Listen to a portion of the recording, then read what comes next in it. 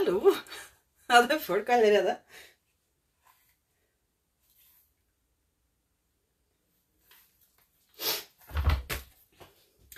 Hei! Det er litt spontant.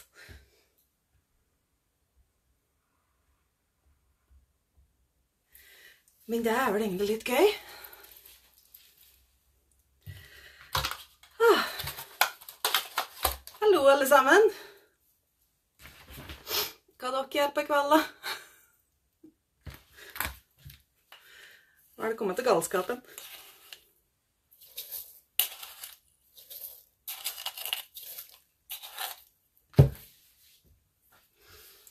Hei, Thomas.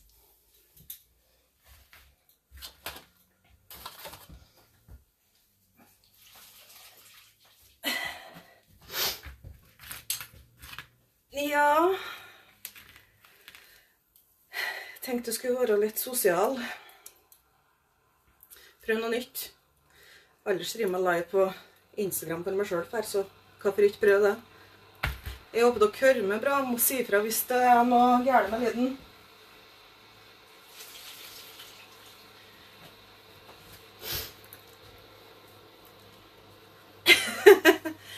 Fy, så leit at du måtte inn og se på meg, Marianne. Hei, Toril. Du er ikke du å jeg.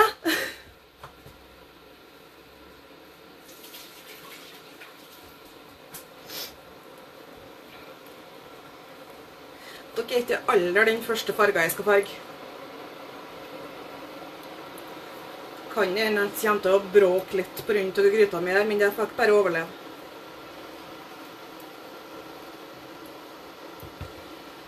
Hei, Merete! Trivelig at du ser innom. Tre, tre.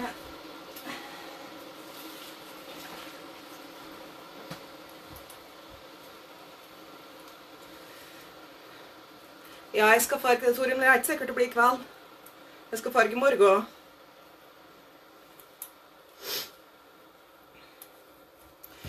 Begynner jo alltid farginga med Mogop.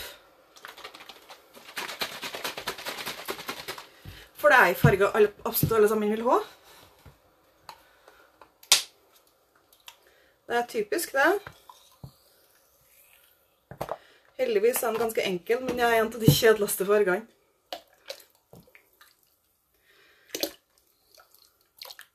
Så da fæsunga unna mogopin først. Skal vi se. Og så skal jeg farge en helt ny farge i dag, tenkte jeg. Så dere får eksklusiv eh, første Første spoiler. Scoop. Titt på den. Jeg kan uh, uh, si at den kommer til å hete Håne. Og den kommer til å bli hovedsakelig grå med litt touch av lyse. Så da kan dere tenke dere.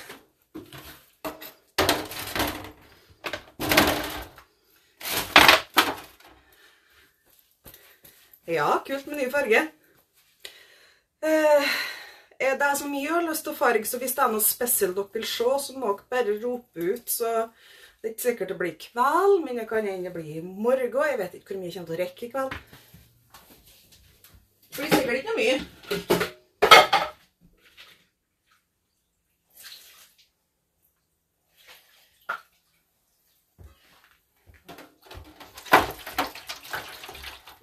Og til dere som lurer, så snør det på Oppdal. Rett ut glasset her. Det snør. Vinteren har kommet.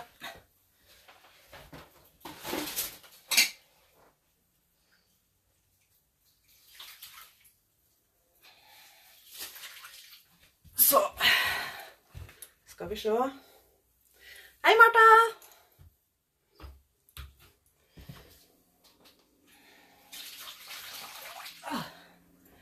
Skal vi se.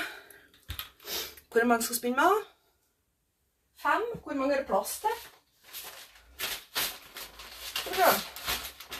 For nå skal jeg farge på noen sånn måte som jeg farger grannvær. Og da farger jeg opp igjen sånn en. Uh, skal vi se, skal vi se. Skal vi se, skal se. Grannvær. Hvor mange får jeg opp igjen? Ja, jeg slo ikke mye. Og så prøver vi fire. Hei, Martha. Og så begynner vi fire, så ser vi hvordan det går. Så vi se. Mogopin står og godgjør seg. Hei, mor mi. Og så har Mogop oppi her. Jeg håper dere er klar for mer Mogop.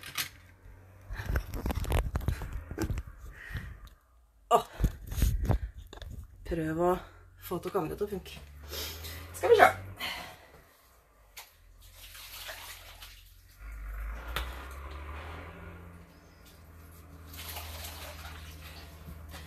Og fire.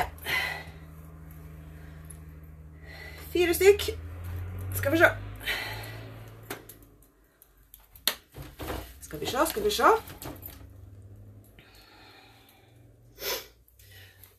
Hva gjør alle dere på da en lørdagskveld? Foruten å se på meg. Hva strikke på? Hva holder jeg på med? For noe spennende.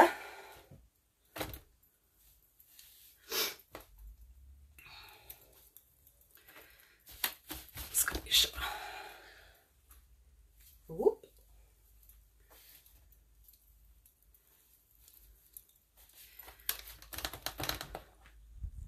Hvis du ser litt sånn. Da sett litt mer skal gjøre.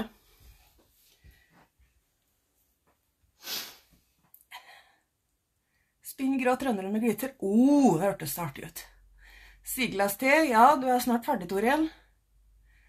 Tre dager Trøndelag, Merete. Ja, hvor er du her, da? Ja, nå er jeg gått glipp av.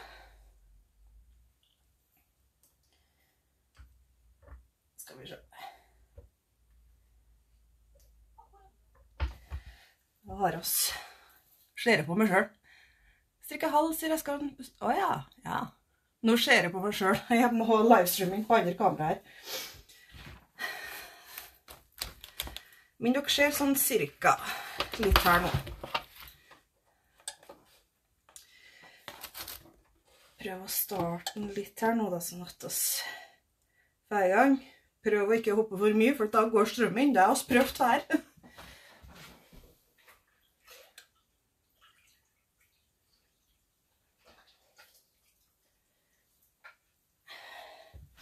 Dette er jo veldig eksperimentelt.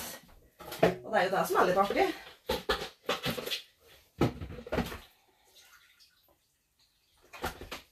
Men jeg har så klart for meg hvordan den kommer til å se ut. Konkyl. Ja, du var på Røros. Det så jeg. Strikker sjølstrippende sokker. Skulle mest ha tro at jeg påvirka det. Skal vi se. Jeg trenger grå. Grå. Har oss grå? Har jeg grå ferdig. Skal vi se. Det har jeg så klart ikke. For dere som lurer, så bruker jeg gamle flasker med Lush såpe til å farge den oppi. For de er så perfekt. Så jeg blander ut fra pulverform oppi sånne flasker.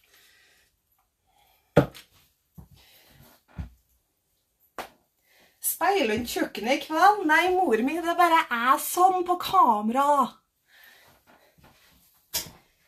Å, skjønner.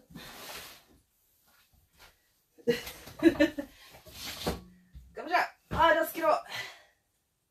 Jeg må ha grå. Der har jeg skrå.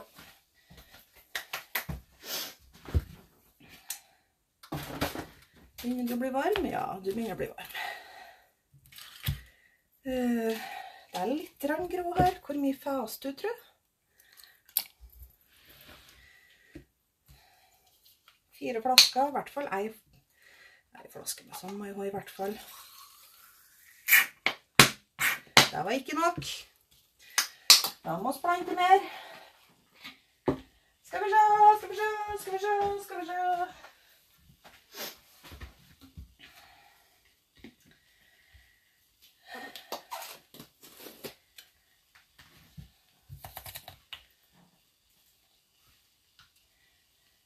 Du, du, du, du, du. Jeg vet egentlig ikke hvor spennende dette her er, da. Men det er noe litt sosialt, da. Så kan jeg late som at det er det, i hvert fall.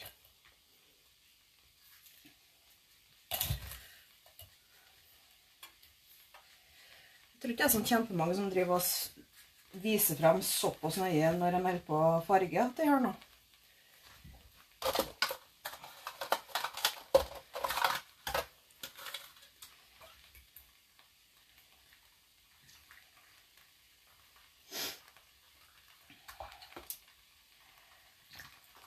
Å, nå blir det, vet du. Og litt grann til. Og der.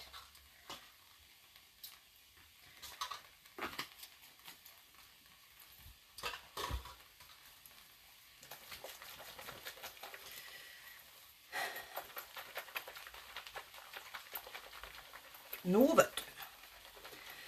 Det grått, skal dere se.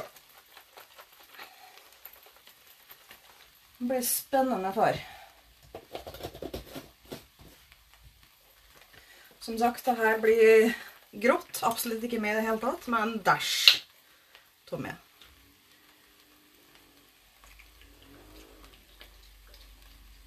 Der har jeg seg hele flaske. Skal vi se.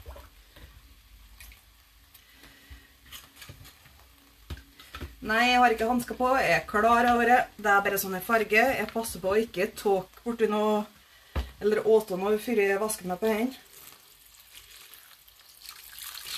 Jeg er klar over det.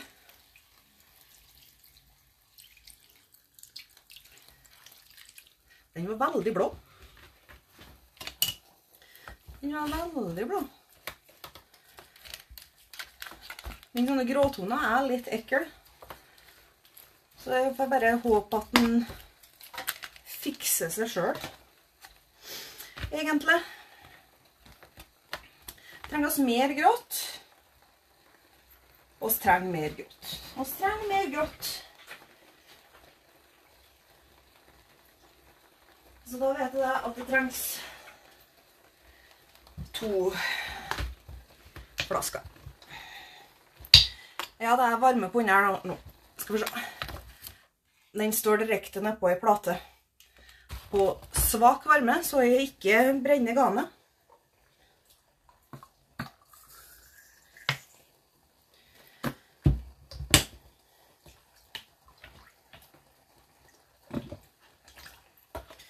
Skal vi se.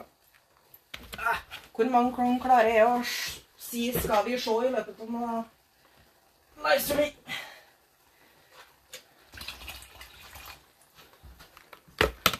Sånn.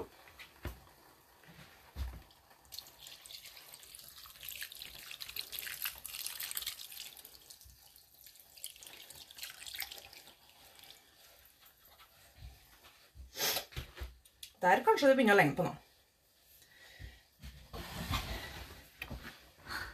Hallo. ja, hva dere tror? Spennende farge.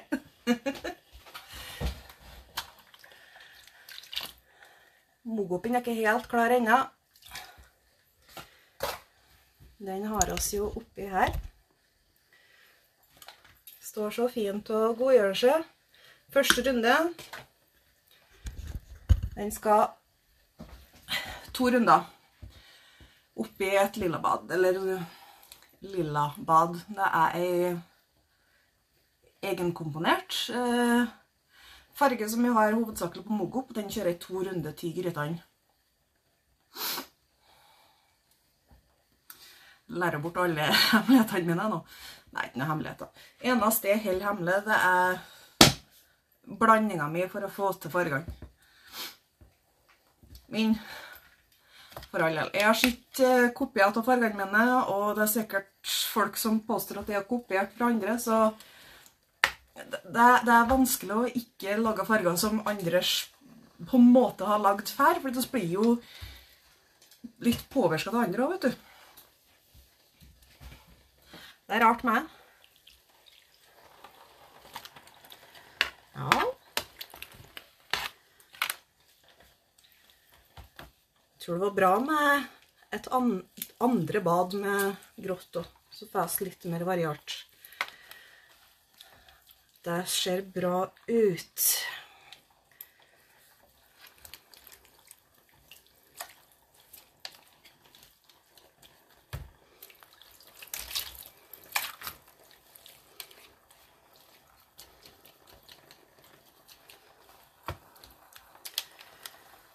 Og så er jeg snart klar for uh, spetting, folkens. Det gikk fortere enn forventa. Er det noen som vil gjette hva slags farge jeg skal spytte med?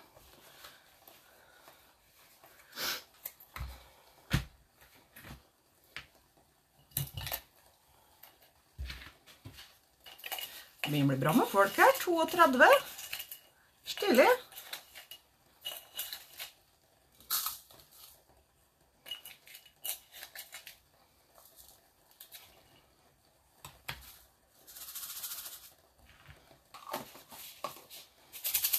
Ja. Nei, ikke Marta. Det blir rosa. Knall rosa.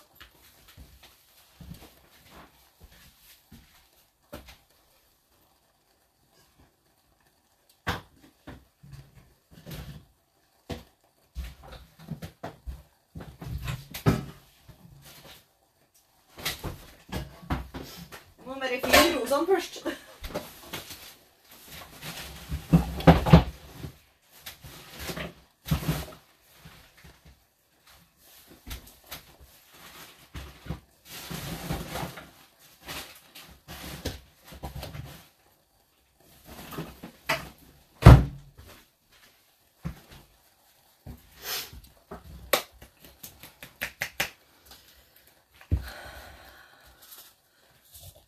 Jeg er ikke helt begeistra for denne sitronsyra mi.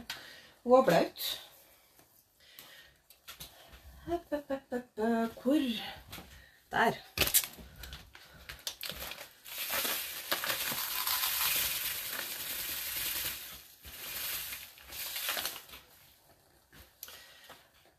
Dere skjønner kanskje?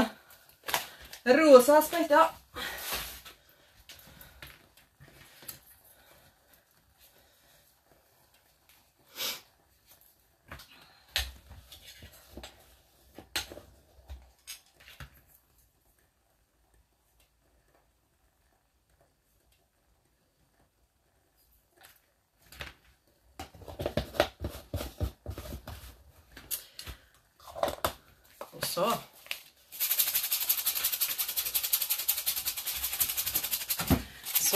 Helgenen frem.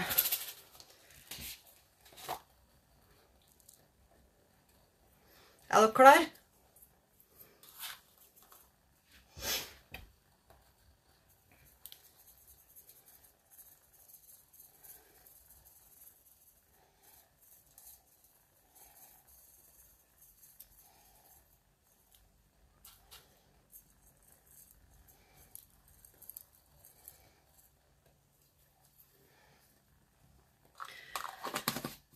Første. Hva tror vi oss? Blir det bra?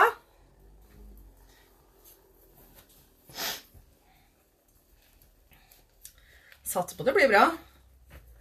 Hvis ikke så blir det bare en eh, såkalt uh, innkvart. Men jeg, jeg har på følelsen at jeg blir fornøyd med den, altså.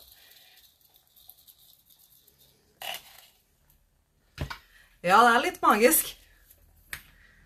Det som er så artig. Ja, mogopinnen er klar. Da bytter bytter oss litt over til mogopinn. Sånn, skal vi se.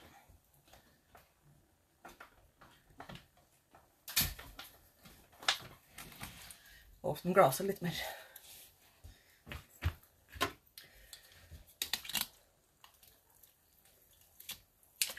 Mange her er det som liker mogop?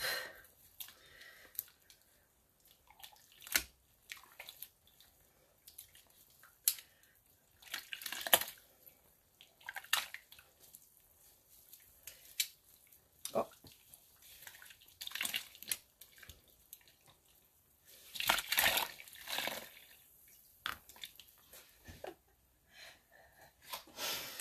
Hei, Gurli. Ja, jeg vet at du liker mogop. Lillian, hei! Anne liker mogop. Så bra.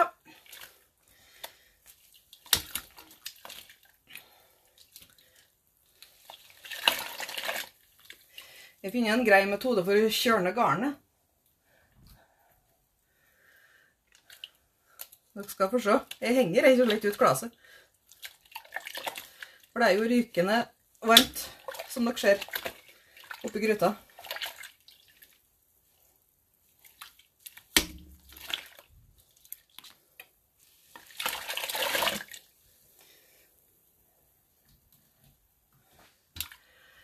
Eh, Hvor der, vet du.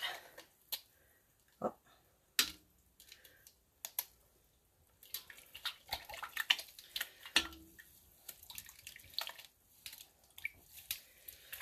Yummy. Den er sur såpass i seg sjøl.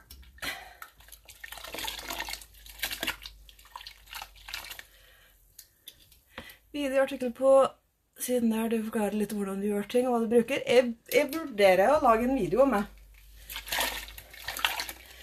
Det vurderer jeg. Den skal vi se. Det henger rett og slett ut glasset. Så får det avkjørt seg litt. Mens jeg gjør klar neste fargebad. Jeg bruker sjeldent uh, uh, rent pulver. Men ja, jeg er klar over det. Og ja, det er snør. Skal vi se. Neste. Da skal jeg så et bad til.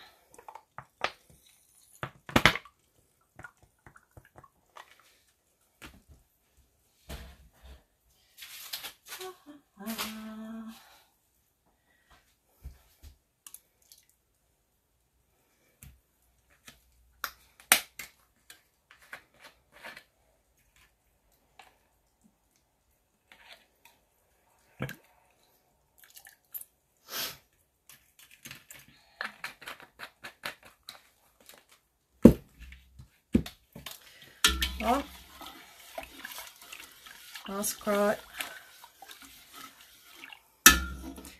det, Thomas.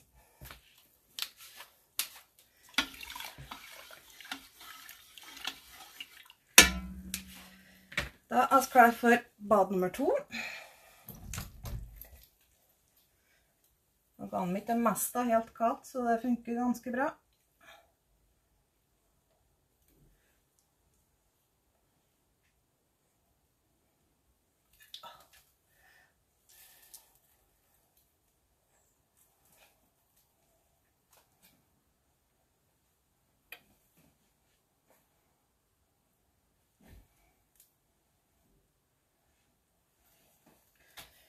Og opp.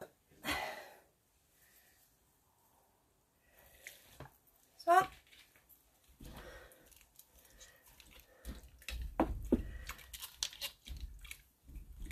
Da er vi klar med bad nummer to på Mogop. Da har en tendens til å trekke seg inn ganske fort. Det er egentlig bare for å få litt variasjon. Ja, han er ganske søt.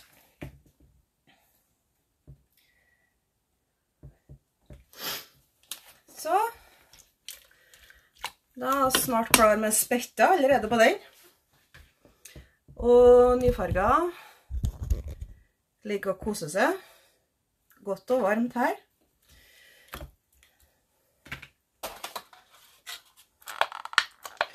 Ikke helt ferdig ennå, men jeg skal snart snu den. Og spett mer på andre sida.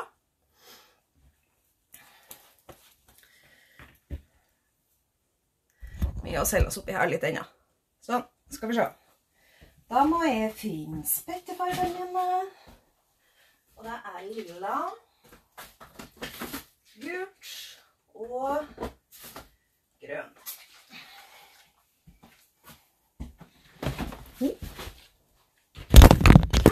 Gikk bra, Mag? Gikk bra? Går det bra? Ikke så lett. Da har vi grønt her. Og så har vi gult. Og lite lilla. Jeg skumpa på borti bordet, så da, da var det gjort.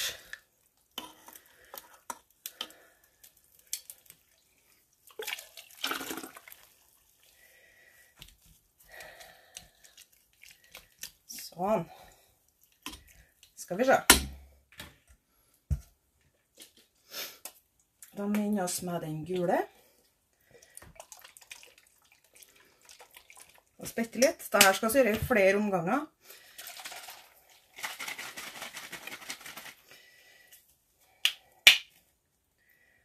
Så tar vi oss litt grønt. Og den er litt konsentrert. Så da rører vi oss litt på den. Så tar vi oss lilla. Og lilla er en ekkel farge. Det er som sirup.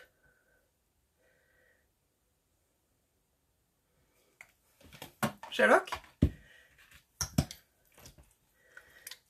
Kjøle snedig. Min, den funker. Den funker. Da skal den få stand litt mer der, og så går vi tilbake hit. Sånn, kanskje. Sånn, kanskje. Så må vi snu litt på håne, så ikke det blir så håne. de holder ikke så kjempelenge, og det er svakere blir ikke de, men det er ikke alle som tåler å bli liggende, og det er veldig mange som er, er nødt til å blande opp på nytt for hver gang. Lilla er en av dem. Heldigvis er det ikke så lenge siden jeg farget sist nå, så det er lilla farger som jeg har på flaska funker for i dag. Og det er ikke så kjempemye, så det går enda. Men egentlig, etter min erfaring, det verste som kan skje, det er at det rett og slett møgler i flaska. Og det er heslig. Men det, det, det, synes, og det kjenner du når du begynner å riste på mat. Nå, det er ikke god med lenger. Og det har skjedd, spesielt når jeg har oppbevart rester sånt på krukka, sånn syltetøyglass, så ser du liksom at det har dannet seg sånne rundinger med møgel oppå. Og så er den veldig sånn der gjørmått. Ikke sånn gjørmått, men klumpete gjørmått. Det er heslig. Men da spett runde nummer to. Det er sikkert det her jeg Nå husker ikke jeg noe jeg ment med liksom åpent pulver, men jeg er klar over det. Og jeg bruker det veldig lite. Og det er allerede ut vattnet, kan jeg kalle det, med sitronsyre her, sånn at det verste støvet er bort. Og jeg heller jo ganske langt ifra meg, og det er rett ned i vann, så jeg er klar over skadeomfanget, om jeg kan kalle det. Men det er så lite at jeg tar en råsjans i ny og ne. Så klart, når jeg har store fargedager, så, og jeg skal blande masse farger, da kjører jeg på med masker, da har jeg full hele greia, fullt utstyr. Men litt sånn som nå, så tar jeg en råsjans. Og jeg holder på med det her nå i fire år. Og jeg har ikke kjent noen bivirkninger ennå. Kanskje ikke det lurest, men det er minimalt. Minimalt.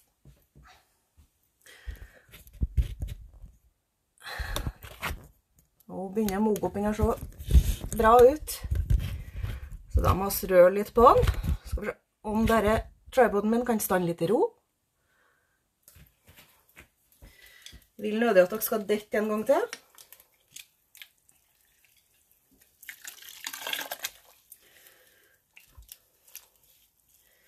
Her ser dere masse, vet du, som ikke har fått farge ennå. Og dytte litt fram, sånn at det får dekt litt ekstra.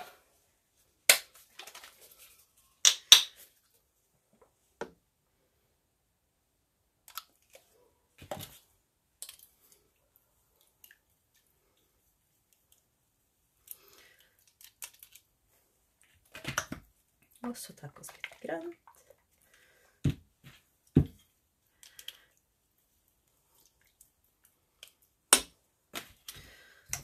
Og så pøse oss på med gult.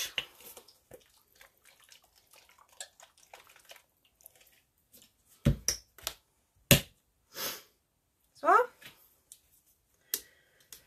Så den stander litt til, så får jeg se hvordan han eh, ser ut etterpå. Kan hende at den er ferdig. Så får jeg se. Er det eventuelt noen andre farger dere vil jeg skal farge med en gang etterpå nå, så må dere bare rope ut. Ja, takk. Hva skal jeg kalle det? Tips? Requests. Vet du, det er dyr- dyreren holder på med. I'm taking requests. Yeah. Yes. Så jo da. Mye av det her går jo på venting. Vent på at fargene setter seg. Så Og det er ofte at jeg har flere kjeler standhengende, så så har jeg strikketøyet, og så kanskje jeg går på stua og sitter og ser litt på TV-en og Kjåkspel, ja. Den kan jeg ta. Eh. Sier oss snart, da. Det har kommet til flere, og det har forsvunnet noen òg. Ja. Jeg håper dere koser dere. At det ikke er for kjedelig. Jeg er nå god til å jobbe, men jeg får være måte på hvor god jeg er til å jobbe. Jeg vet ikke hvor lenge Hvor lenge jeg skal holde på, men Det får vi se. Hva slags maske jeg anbefaler til syrefarging? Ei som er tett. Eventuelt så Nå husker jeg ikke hva den heter, men de er helt hvit, og så har du den bøyla oppå på utsida, så går den framover i en spiss. Den er ganske bra, for den er tett oppi nesen og på under haka. Ellers så har jeg ei sånn maske med sånne respiratorer på hver side, med eget filter. Den er ganske god og tett, og da kommer ikke noe inn. Samme type maske som jeg bruker når jeg er på verksted, for når jeg sitter med poleringsmaskiner, så er det jo veldig mye støv og sot i lufta. Eh, poleringsvoks som ligger som små partikler i lufta, og det er ikke bra at det sitter i lungene, så jeg bruker sånne masker der òg. Funker fjell. Aldri kjedelig å se og høre på det der, liksom. Jeg er mye så bra da, Hege. Men jeg ser ut som jeg skal ha kjåkspill etterpå, så det blir veldig rosa kveld. Men det passer vel bra, for det er jo en rosa måned. Da må det vel være bra. Hei, Laila. Ser naboene på, gitt. Trivelig. Får komme borti. Skal vi se.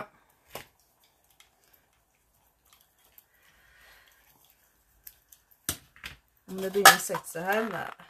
Rosa er litt ekkel når det kommer til sånt. For det har en tendens til å aldri sette seg ordentlig. Og jeg sjekker alltid vannet. Før jeg i hele tatt tar ut. For ja, eh, det er jo iblant sånn at fargene, eller garnet kan blø. Håndfarga garn. Så- Sånn er det bare, dessverre. Så det er alltid lurt å vaske, enten før eller etter dere begynner å bruke garn som er håndfarga, Om det er fra meg eller er fra noen andre.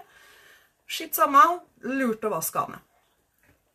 Men jeg prøver så godt jeg kan. Jeg vet det er et par farger som jeg bruker som aldri setter seg helt ordentlig, men jeg prøver i hvert fall å få vannet noenlunde klart før jeg tar tu og gjør klart til vask.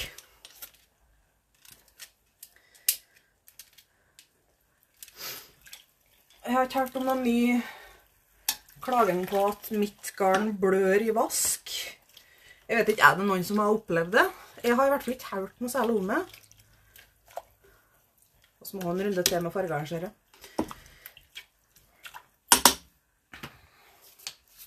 jeg. Vet det er noen som er verre enn andre når det kommer til håndfarger. Som kan blø. Og jeg vet også at det er noen farger som mest er umulig at ikke blør. Hei, Ann. Jeg vet ikke om jeg sa det tidligere. Jeg så det så vidt. Trivelig at du ser på.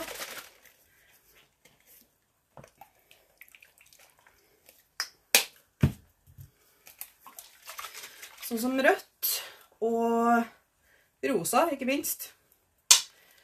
Og eh, svart kan lett blø.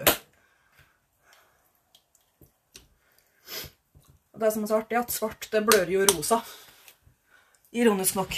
For det er jo rosa og rødt som er verst, etter min erfaring. Aldri opplevd har jo styrket med garnet mitt. Ja, jeg vet at du har gjort det. Og jeg har aldri uh, sett noe fra det du har sendt meg, så det er jo kjempebra. Det betyr at jeg har gjort det rett. jeg gjør jo mitt beste. Og ja, jeg, jeg skjæler opp garnet, jeg vasker det. Jeg kjører det faktisk gjennom maskina, maskiner, uh. Etter jeg har skjært en runde for hånd. Uh, egentlig rett og slett for å få skjært gjennom det ordentlig. Og fordi at det tar veldig mye krefter å gjøre det for hånd.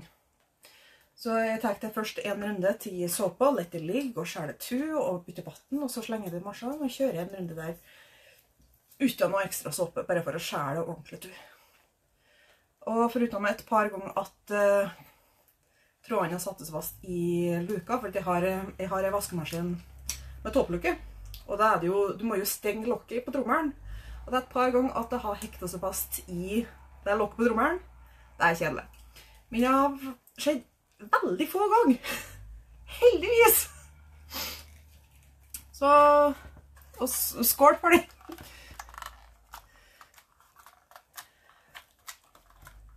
Og det her kommer til å vokse til. Rosa farge er ekkelt. Hei, Anette! Så bra! Da begynner vi å komme i mål. Og det er litt mer gult her som ikke har satt seg. Og et triks til er hvis fargene ikke har satt seg ordentlig, eller de bruker lang tid på å sette seg, han blander inn litt mer syre til vannet. Ikke noe mye, men det kan være nok til at det setter seg.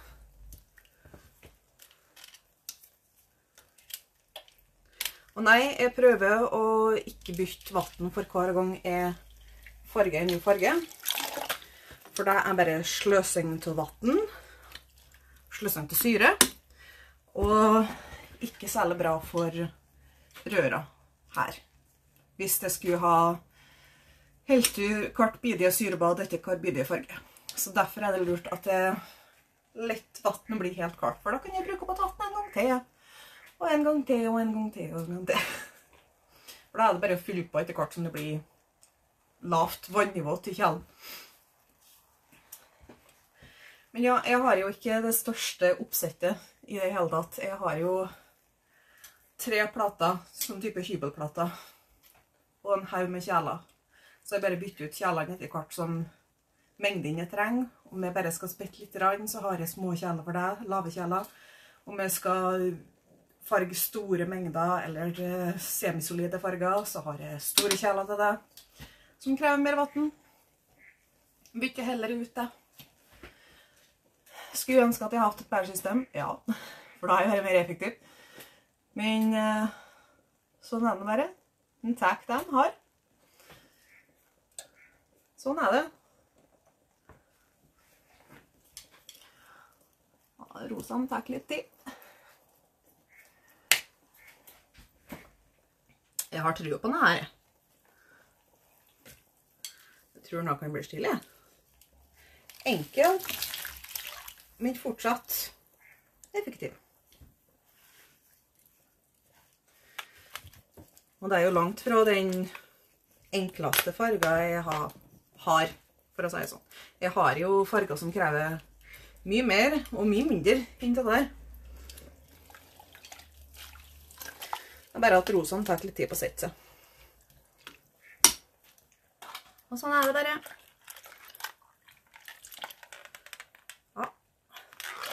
Ta godt nok. Da skal vi se. Jeg trenger ny bøtt. Ren bøtt. Der har du sin bøtt. Opp. Og de har ah, knota seg inn i hverandre. De er for gode venner. De må bli venner oppi kjelen. Eller flere. Nei, dere må slippe hverandre nå. Dere er ikke unger. Skal vaske dere nå.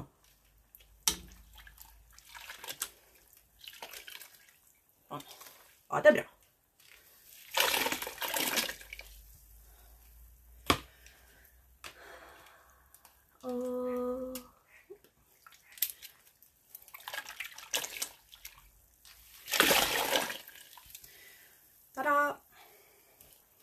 Fire stykk ferske mogoper.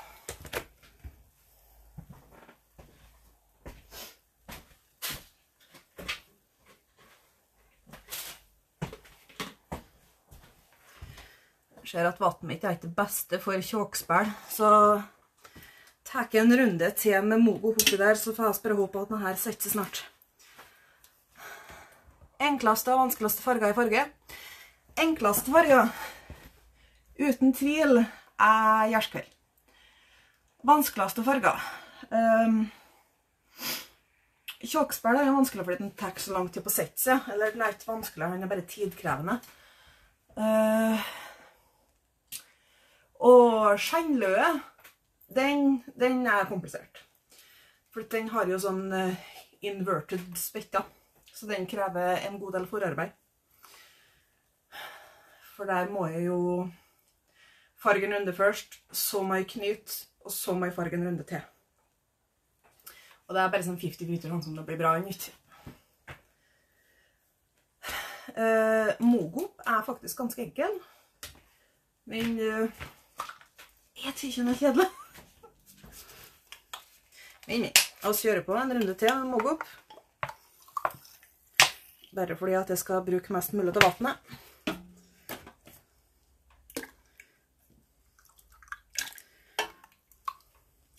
Så da. Jeg gjør sånn akkurat nok til en farging til oppi flaska før jeg må tokke ny. Hvor godt dekker fargen av basen ikke er vi. Ganske greit, egentlig. Um, hvis du skal ha mest mulig hvis, hvis, du skal dekke mest mulig av en annen farge, for å bli mest mulig kvitt den, så er turkis og turkise toner absolutt det beste, for den tar alt. turkis går overalt. Egentlig sånn med ekstreme rosefarger som fuchsia, den jeg bruker. Og fuchsia, den er jeg ganske god på å dekke alt. Men hvis det er noe som er fjellfarga, og du bare skal dekke over det, eller hvis du har noe som er gysla og du skal dekke over det bare for å bli kvitt det, og det kanskje er litt mye på mersk farge, turkis eller fuchsia. Knallrosa eller turkis. det funker best.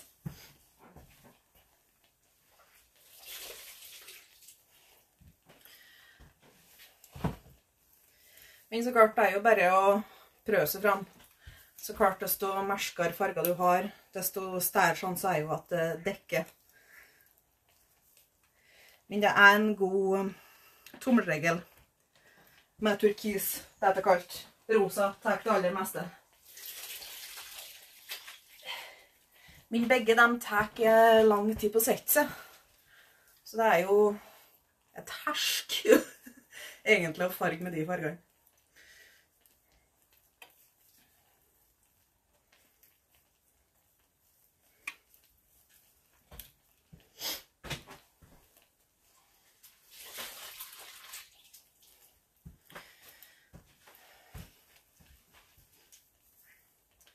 Dette var egentlig en teknikk som jeg bare prøvde. For flere år siden, bare for å prøve hvordan det ble. Og det viser seg jo at det faktisk er en teknikk. Dette er en type fargeteknikk. Kjempeartig.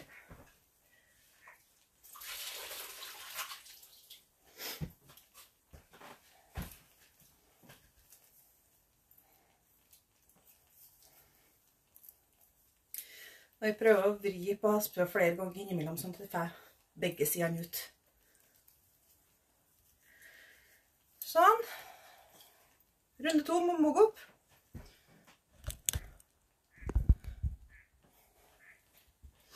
Ser svart ut der, ikke sant? Det er ikke det.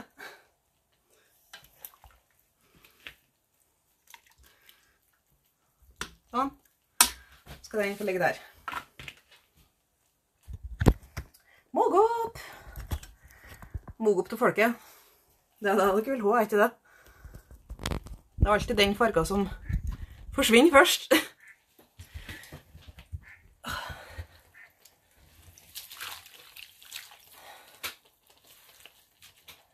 Begynner å bli bra. Ja, litt rosa ennå, men jeg tror kanskje det går.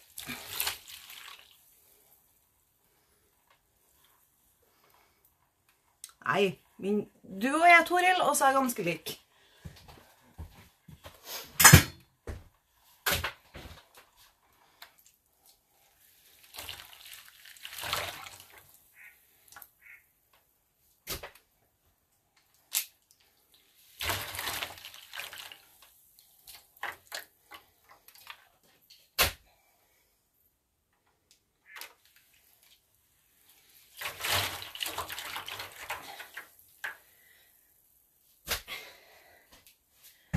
Woop, woop. Sjokolade? Ja, det skulle hatt. vent, da får jeg vente litt. Må prøve å redde mest mulig av vannet her. Siden det er litt rosa i vannet, jeg vet ikke hvor godt dere ser på kamera, så kan jeg bruke det opp på kjåkspill. For den er jo rosa. Rosa.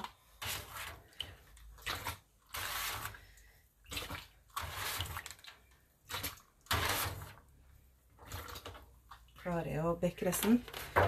Oh. Utta og brenne med.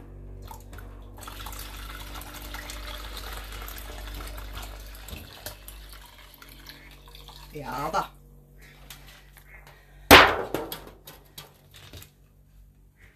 Nå ser dere kanskje at vannet ennå er rosa. Dette skulle egentlig være eh, Dolcy, men det var et mislykka forskjell på farga Dolcy. Så da ble det genser til meg sjøl. Kjokkspær, de må oss til med andre andre gryter.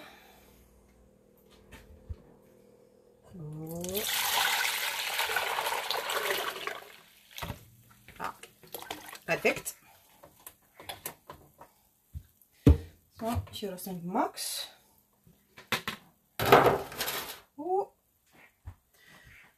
så tar vi oss litt mer sitronsyre.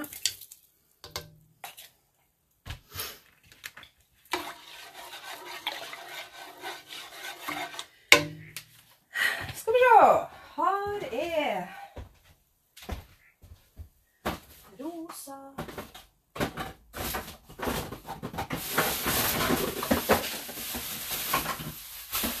Rosa, rosa.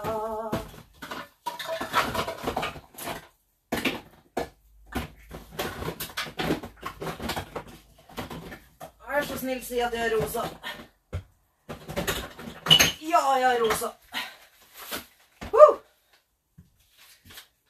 Skal vi se.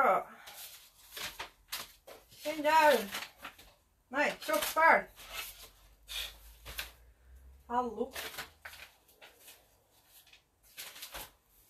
Hvor er okselappen min, da? Hvor er du henne?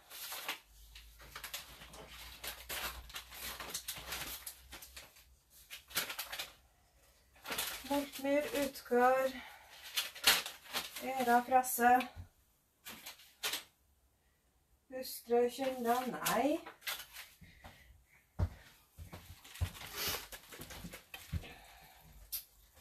Hvor i alle dager har jeg gjort økslappen med den, da?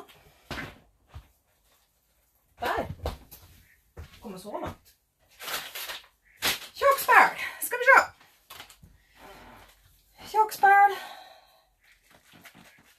Ja, ikke sant? Der går jo ikke noe til kjokkspæl. Rosa er skummelt.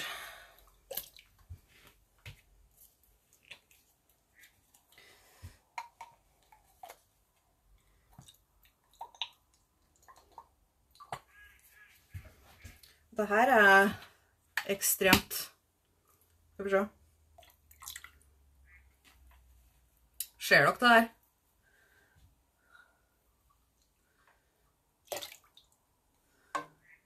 Det der var ikke noe mye farge, altså. Hot Fuchsia. Den eh, tar alt. Et alt. Skal vi se. Da skal altså tre stykk.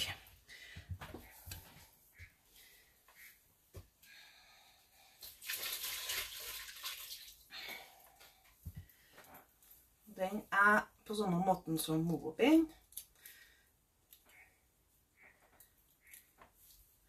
Det er litt greit at jeg får unna rosa i dag, da. Så slipper vi å stresse med det i morgen. Så mye.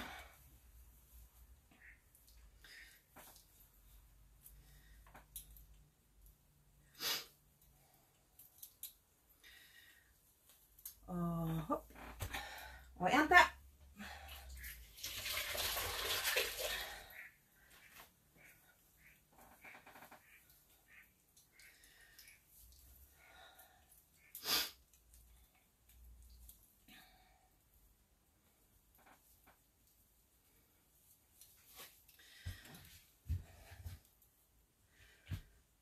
Hvis dere tykker at mokoppen var ille Se på det. Det var ikke noe.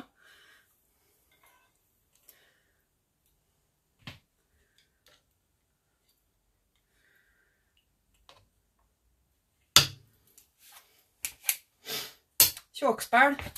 Knallrosa. ja da. Mogopinnen her lenge på. Så da er det bare å vente litt da. Ja, eh, velkommen alle nye. Sitter nå her, da. Hatt med fargegrytene. Sent en lørdagskveld fordi jeg ikke har noe bedre å finne på. Fri i morgen, så da kan ikke vente til i morgen med farger, så må jeg jo begynne i kveld. For det er deg jeg orker.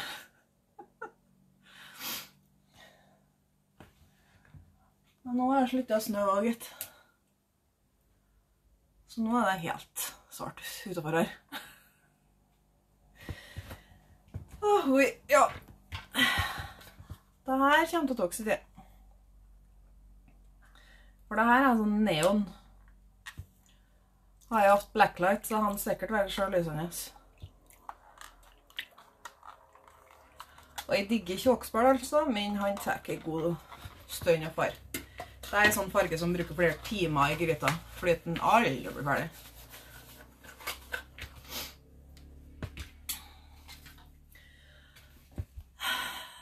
Skal jeg sitte på en til? Er det noen andre farger dere vil se?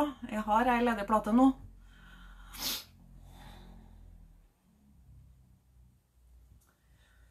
Eh, Det er nå jeg kan ta sånne enkle, vet du, som ikke tar noe mye. Sånn som gjerskveld eller røstått.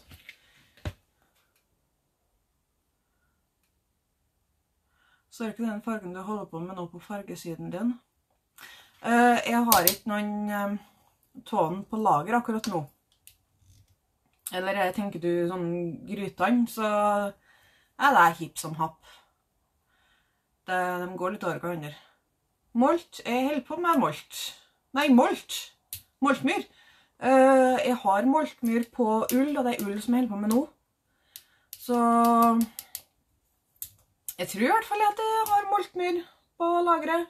Innbiller meg at jeg har sett noe nøsta. Dere får inn og se, men jeg tror kanskje jeg har moltmyr akkurat nå. Um, jeg har jo egentlig røstet av da, kanskje. Eller har jeg røstet?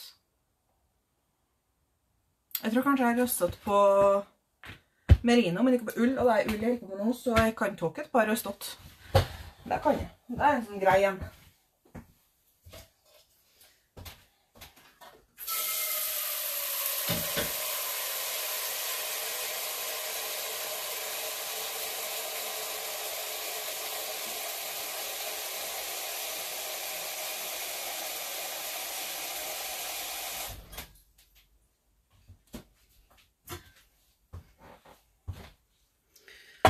Dolce krever en del uh, spetting, så det, det orsker ikke akkurat nå. Men jeg skal farge Dolcy òg. Det skal jeg. Men ikke akkurat nå, for jeg har ikke forberedt alle fargene til Dolcy.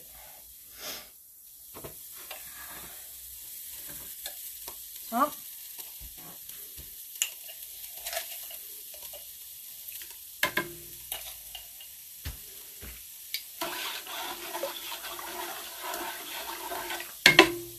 Så til to her.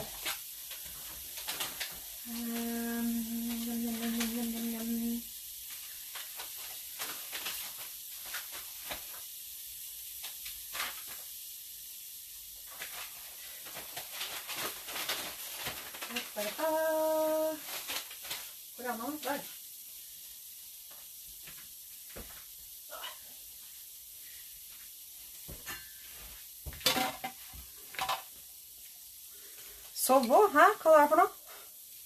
Skjønner ikke.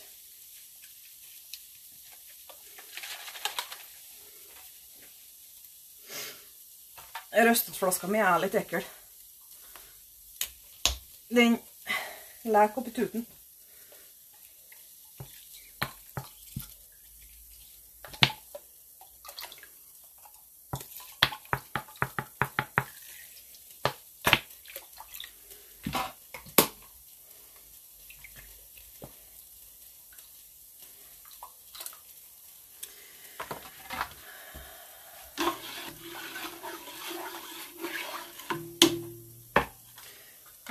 Røstet er jo ei kjempefin sånn rustoransje farge.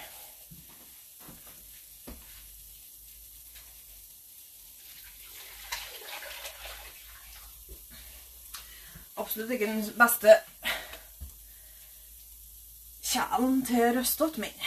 oss kjører på.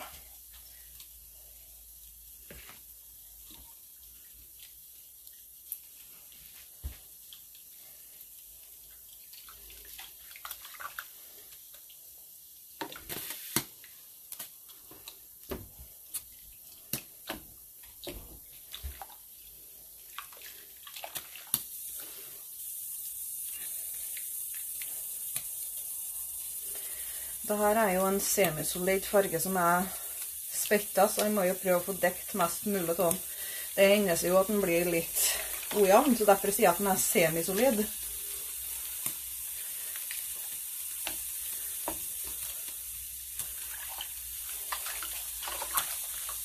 Dere ser her, han er litt lysere akkurat inni der, og der gir han jo litt dybde, så det er ikke akkurat nå jeg prøver å gjemme heller. Nå er det 20 minutter igjen, så jeg starter snart på ny igjen. Er som dere vet, så dere må bare hoppe inn igjen når vi klikker her nå. Jeg skal fortsette, jeg har dere på lading. Så dere må bare fortsette å følge med hvis dere vil.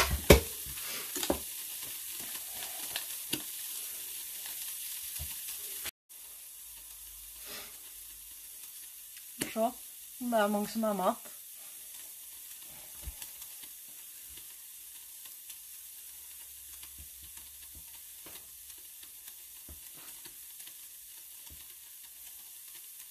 Se der. Hallo! Velkommen tilbake.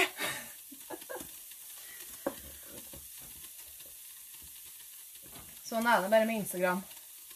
De kutter livesendingene etter en time. Og Så er det bare på'n igjen. Ja, jeg har litt forløsninger bak meg her, da, vet du.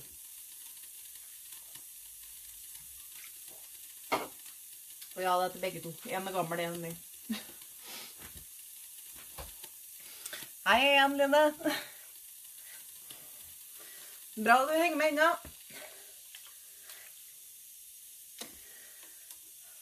Hvordan er det på hytta, Mette? Har du bra dekning? Den er pikselert å legge.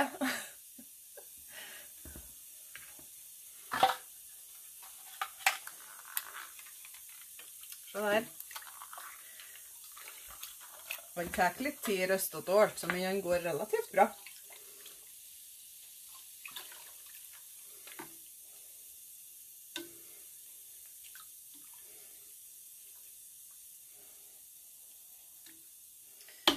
Skal prøve å spekke litt, kanskje. Det er liv til spetteren min.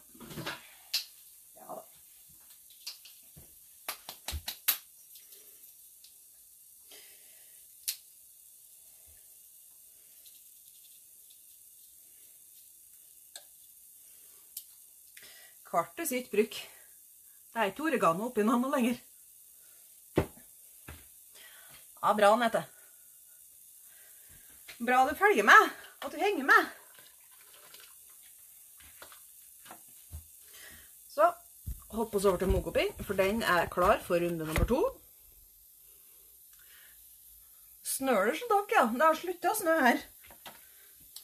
Det er snø på bakken, men det er ikke mer snø i lufta.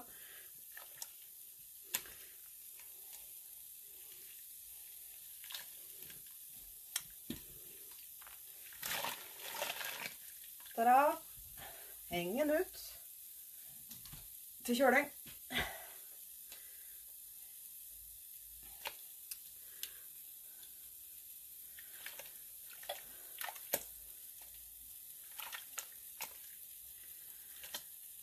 Uh, ujevnt uh, som i at det ikke er godkjent, eller ujevnt sånn som det her. For det her er jo meninga at det skal være ujevnt. Men just å mene at uh, det er ikke sånn som jeg vil ha det, hvis det er en av mine permanente farger som jeg ikke er fornøyd med, så farger jeg over den og legger den ut som en innkvart i stedet. Og innkvart det er min one of a kind for dem som lurer. 5-10 cm snø på bakken. Ja, det er noe sånt her òg. Men jeg har kommet til at hun smelta og kommet til at hun smelta flere ganger. Ujevnt til mening, sånn som det her. Nei, det er noe mening at det skal være sånn. Det er farga ujevnt med vilje. For det er sånn jeg vil ha den.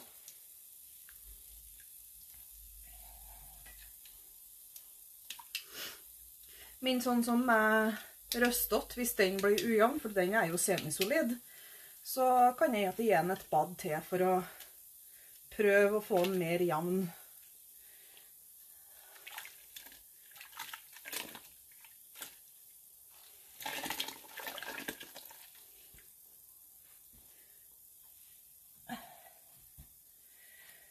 Sånn. Så en siste rest med mogop.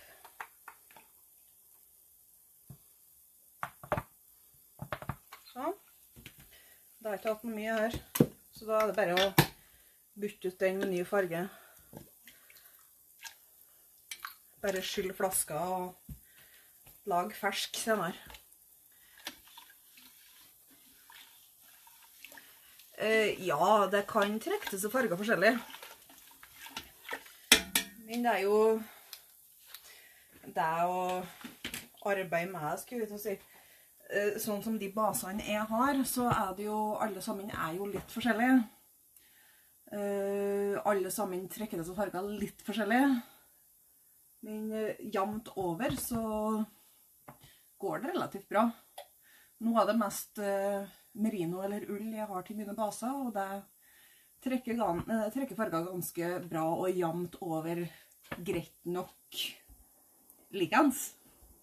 Men jeg har farger på baser der det er der undertonen til det rå, rå ganet, skulle jeg si, naturlig farga ganet, er helt annerledes enn det jeg vil, og da blir det jo et litt annet skjær. Eller at den trekker til seg litt forskjellig, så blir det kanskje litt svakere eller litt skarpere. Sånn er det bare. Selv om vi bruker nøyaktig samme mengde farge fra nøyaktig samme blandingsforhold. Så det er litt forskjellig. Sånn er det bare. Det er håndfarga for en grunn.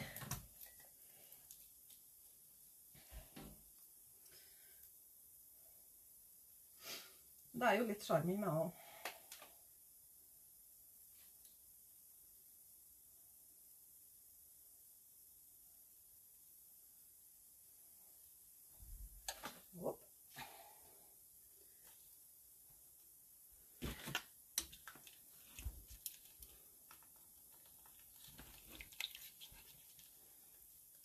Så her ble det litt for mye kvitt nå på ene enden.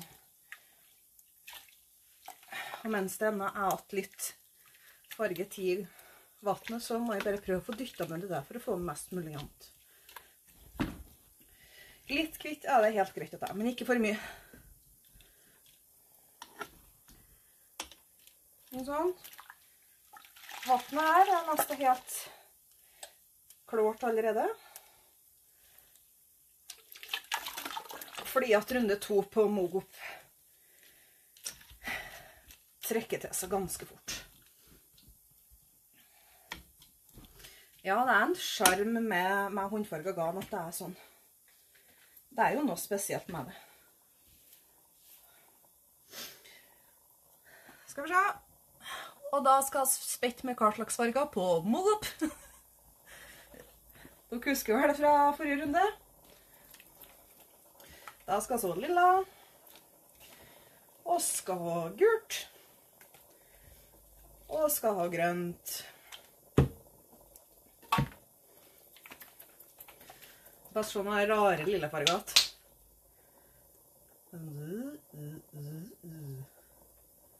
Sirup. Solbærsirup.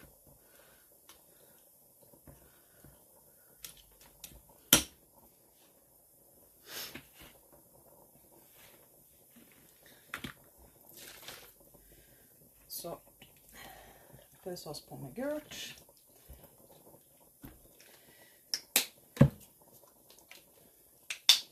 Og litt spetta med grønn. Og blander den litt ut. Ta-da! Runde nummer én. Skal vi se. Tjokkspæl. Er du klar ennå? Eh,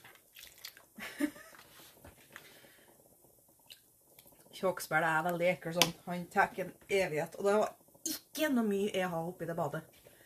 Jeg har en tredjedel av noen flasker her. For det, det her er håndlaga. Det her er ikke noe spesielt. Jeg er sjøllært. Jeg bruker denne flaska her som målmetode på alle.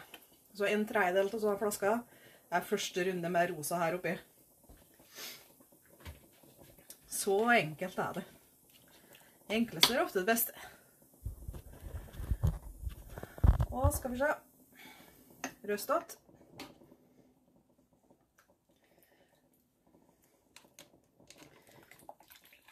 Klar for runde to med spett.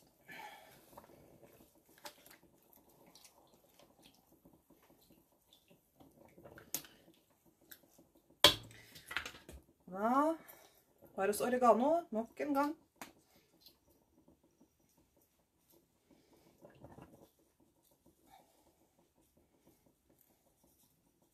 Og spettet. Det er òg en En ting jeg egentlig foretrekker å ha spettene mine på sånne børser. For da slipper jeg òg det, det lille støvet som kan være. For det er minimalt. Så jeg skal lage ei sånn børse til rosaspettene nå etter hvert.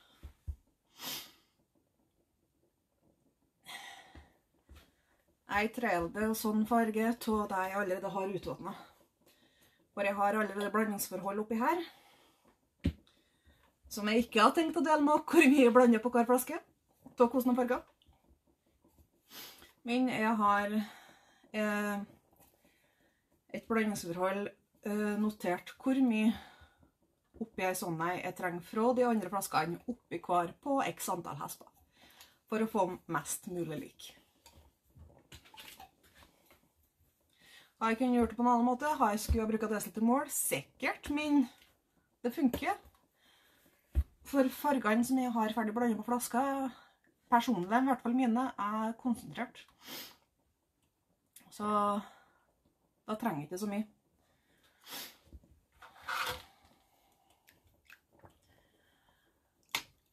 Og når rosaen her, den er mye mer knall i verstligheten enn den er på kamera, altså. Hei, hallo! Jeg har ikke begynt å farge garnet der ennå. Det, det, blir blir i morgen, vil jeg tro. Jeg holder på med knallede farger i dag, så vi kan ikke eh, risikere å ødelegge utgard med knaller. Sånn er det bare.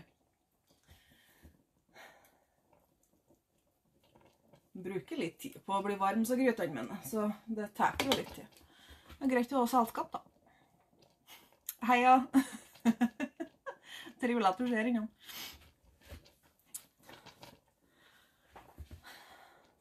Det er rene middagen det her. Spagetti. Rosa spagetti. Det hadde vært noe, det. Kanskje ikke. Skal vi se. Moge opp. Hei, Vero. God kveld, ja.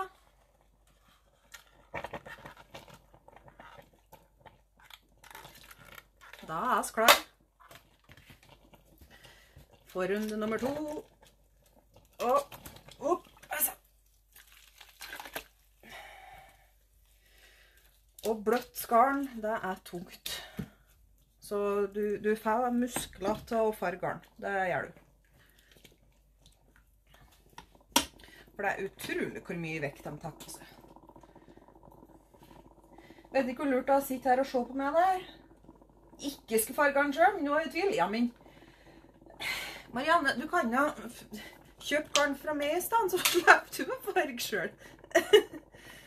Problem løst. For det er ekstremt mye arbeid, det er det. Du er nødt til å ha litt uh, interesse for det. Hvis ikke så er det bare pass.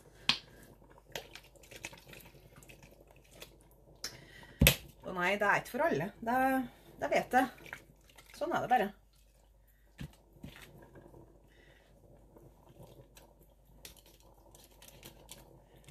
Sånn. Runde nummer to må gå opp. Fast se om det er hell, eller om jeg skal ha en runde til. Men sitter og gjøre seg litt. Rann. Da blir det i hvert fall en del mogo på denne her, for jeg fikk jo dobbel dose der nå. Jeg kommer sikkert til å farge mer i morgen også. Men mogop er, mogop er en eh, bestselger. Jeg må bare si at det kommer ikke noe selvstrippende skan den eh, omgangen her, for det har jeg ikke tida til. Jeg håper egentlig å få ut uh, uh, oppdatering på nettbutikken til helga som kommer. Og så må vi bare se litt hvor mye fjort. God dose tålmodighet. Oh, yes. Det ikke, jeg er noen som har tatt tida på kjåkspill, og så er jeg bare på første fargene. For å skal ha en runde til oppi her som tar like lang Nei, ikke fullt så like lang tid, men lang nok tid den òg til å sette seg.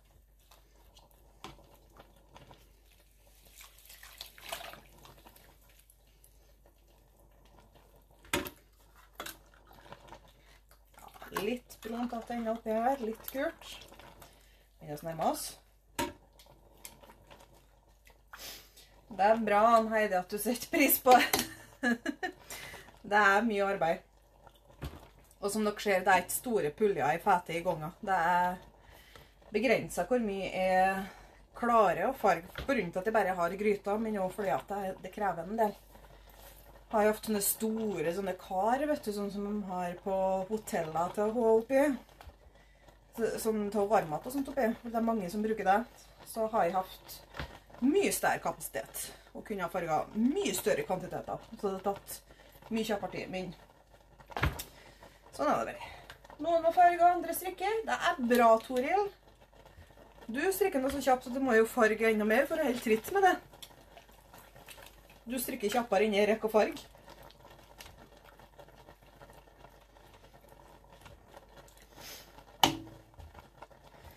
Det er bra dere tykker at jeg er flink. Det er bra. Det er godt å høre at dere tykker det. Oi, må gå opp. Du trenger ikke å koke. Det er ikke nødvendig.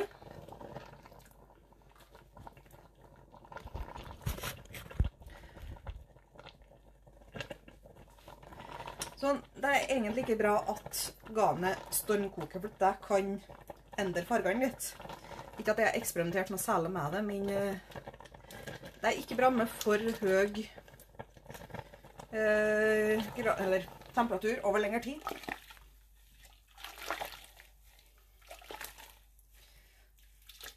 Men sånn er det bare. Iblant så er det vanskelig å kontrollere. Og i hvert fall når kjelen er full med garn, så blir jo temperaturen mye kjappere. Høg.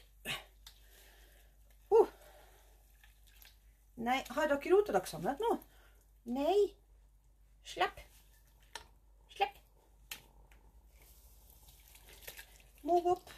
Runde to. Ferdig. Opp. Jeg har ei balje på gulvet som jeg hiver dem oppi. Og hopp. Skal vi se. Det var Var det noen som sa noe? Nei. Innbilte meg at det var kommet en lang kommentar oppi her, min. Jeg har det bare på nettbrettet, og der er kommentarene kortere enn jeg er på telefonen. ser jeg.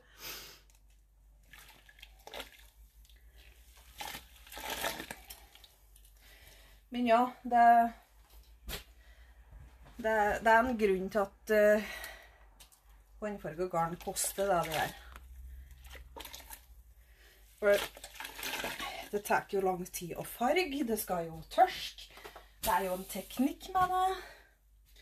Og pigmentene koster, ikke minst. Og prøving og feiling, og garnet koster jo en del. Og sånn er det bare. Skal vi se. Nå er jeg litt ekkel med gryta mi. Skal vi se. Det er noe håp for den. Jeg har egen oppvaskkost for fargegrytene.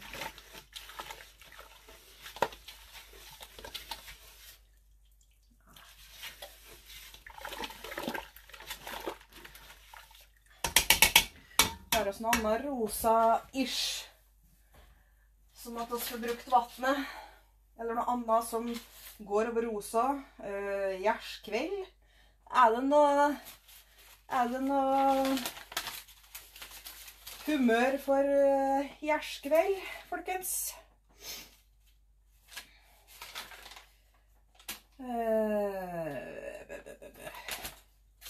En kare, kanskje? Har jeg nok til deg, da? Ja, en kare, gjerskveld. Hva dere tror? Moltmyr må jeg ha renere gryte for. Uh, Dolsi må jeg ha renere gryte. Jeg kan takke én kare. Vil dere se Nei, ikke én kare. Jo, jeg sa én kare. Era, mente jeg. Era. Fresse Nei, den er det for mye kvitt i. Røstot holder på med. Kjåkspill holder på med. Snækje er det for kvitt i. Hva tror du? Tysling? Vil dere ha tysling? Tysling, gjærskveld eller enkare? Hva tror du? Opp! Det er ikke det beste oppsettet mitt her.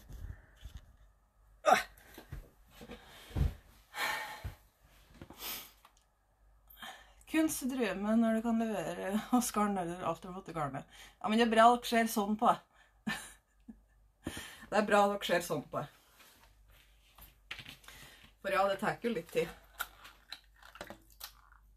Ja, røstet er snart klart. Snart klart. Skal vi se. Um, kommer. Uh, det er egentlig litt mye kvitt på den at jeg vil ha den oppi den gryta der nå for å bruke vannet. Men uh, attjatkommet kommer senere. Jeg kan sikkert farge den en annen dag. Jeg bare prøver å få brukt mest mulig. Tylling. Ja, jeg heller egentlig litt mot tykling med tanke på at gryta allerede er rød. Har jeg tykling ferdig blanda, tror jeg?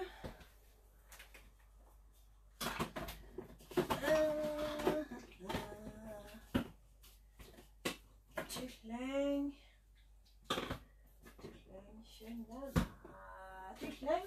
Jo. Ja, jeg har Jeg har tykling. Ser grei ut. Oss tester tykling. Oss tester tykling. For den er jo sånn semisolid. Tykling. Skal vi se. Nå er denne litt gammel, men han kjennes grei ut, så vi må se litt hvordan han er til vannet. Ta en liten test, ta en liten prøve. Så da passer man å bruke en svamp samtidig også, da, så fikk skittet. Den ser grei ut. Skal vi se. Jo. Rett. Da er det snart jul, folkens.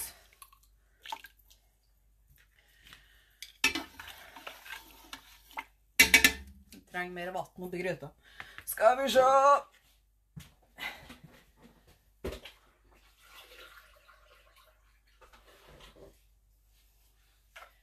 Og Ja.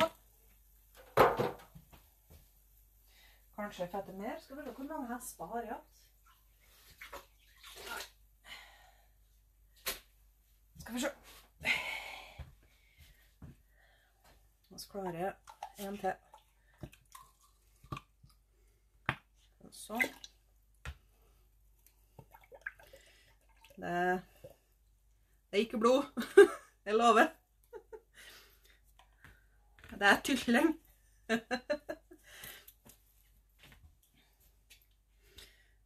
Den var ganske ganske skarp. Skal vi se. Og en, to, opp.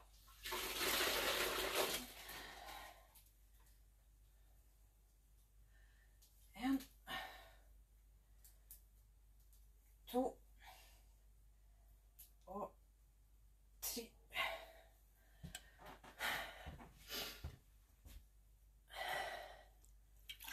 Ja da, ta funker.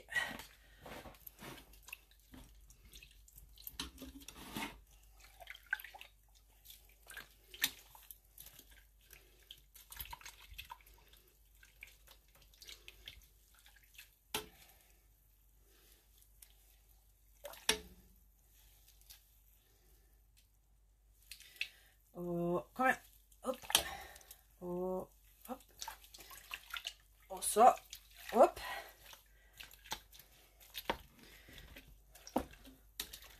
Da blir det tykling. Den ser veldig mersk ut på kamera, men den er sånn burgunderrød.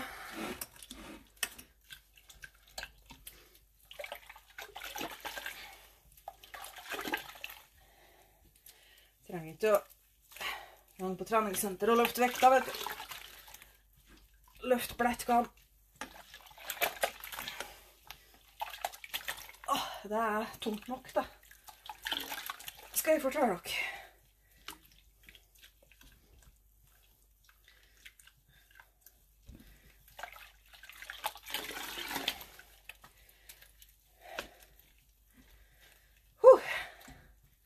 Da blir det tylling. Nå er jeg tom for og blauta garn.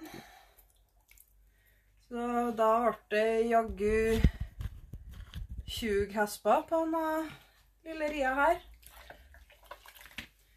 Skal vi se. Røstet er ferdig.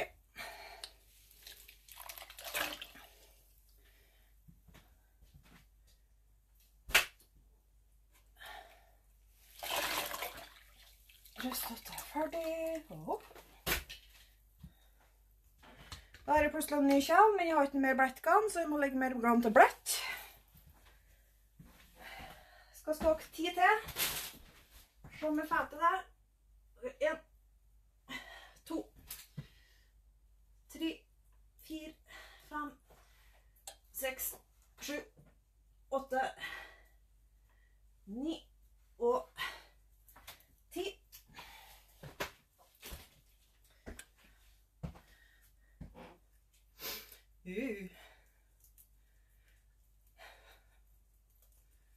Fint å kutte garn. Blir ikke kutt noe lenge her i huset, nei. Det varer ikke lenge. Så. Jeg må mer påfyr.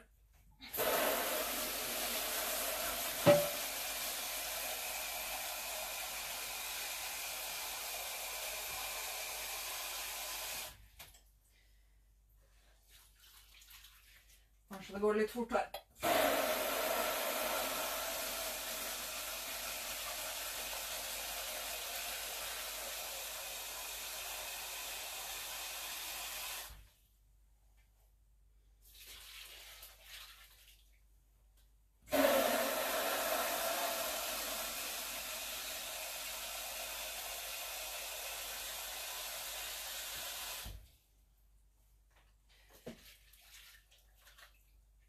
Sånn. Da har oss ti hesper til. I bløtt. De ligger litt så den blir faktisk gjennomblaut. Hva sprøk en svamp og se om oss hvor mye Farios fætu den her. Her er glitter min, ja. Så se hvor rosa den blir. For det er fortsatt rosa vannet. Det, det tar liksom aldri ende med den rosa. Men vi begynner å nærme oss der jeg nå snart kan eh, håpe i farge nummer to.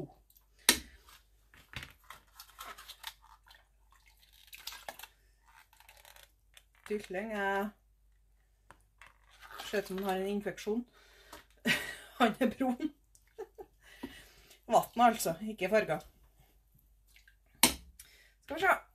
Men da har vi plutselig en kjel til.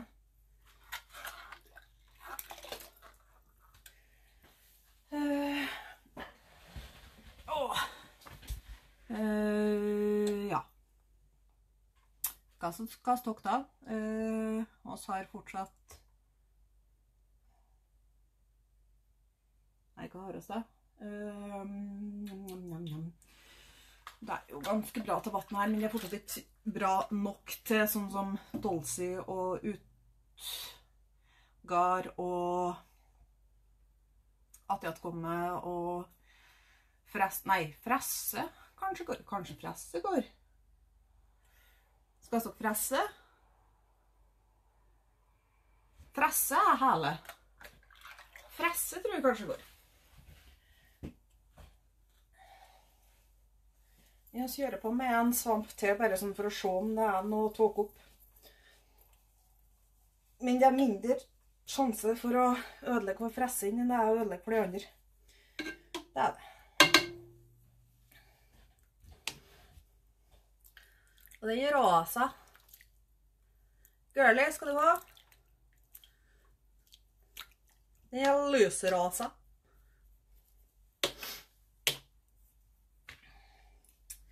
lösrasa.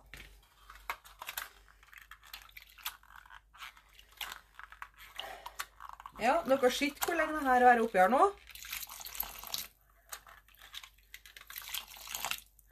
Hei, Ella!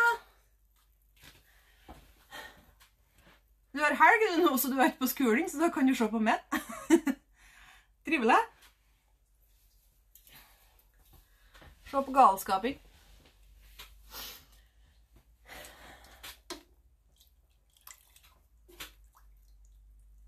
Men den ser bra ut.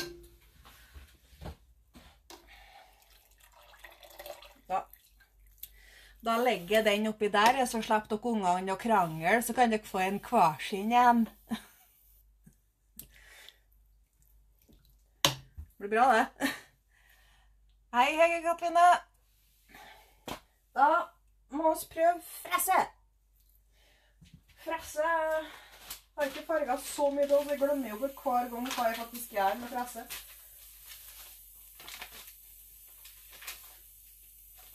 Den er såpass fersk. Eh,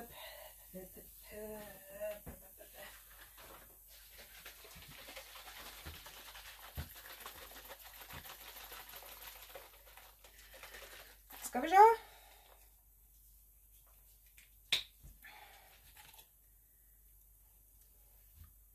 Da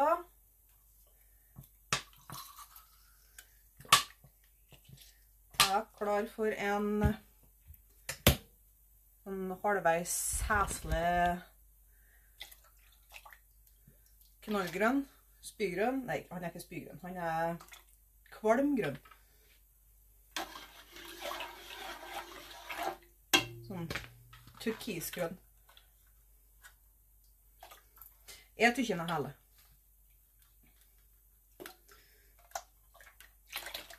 Jeg tykker den er nydelig.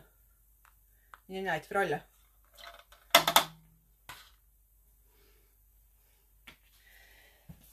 Skal vi se.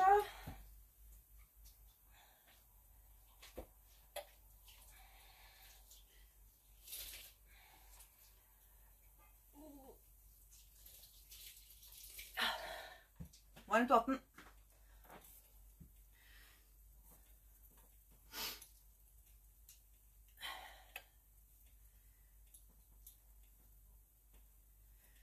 Mange skal gå? En. Og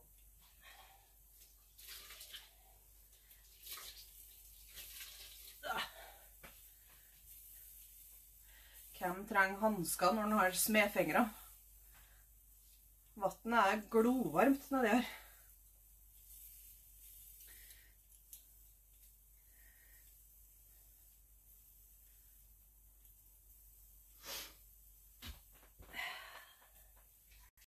Og ah.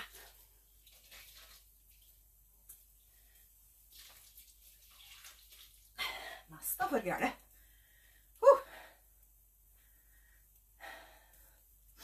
OK, mener Nå blir det skarpe kontraster oppi grøtene her, altså.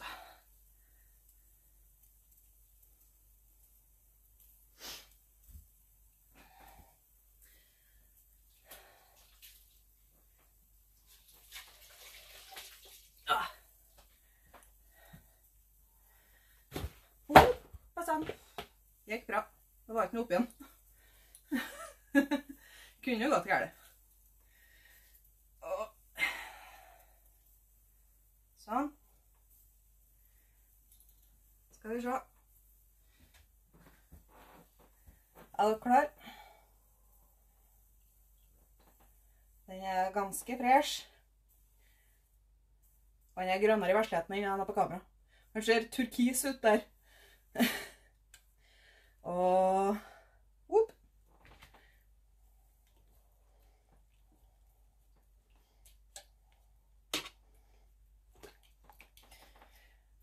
Ta-da! Nå da er det vel gode farger med det her. Hæ? Skal ikke klage på den, sier jeg.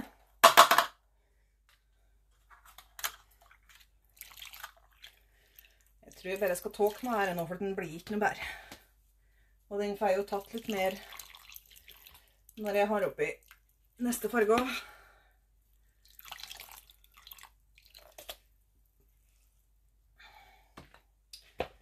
Skal vi se.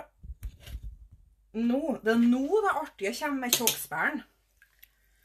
Det den, det, er, nå det blir gøy.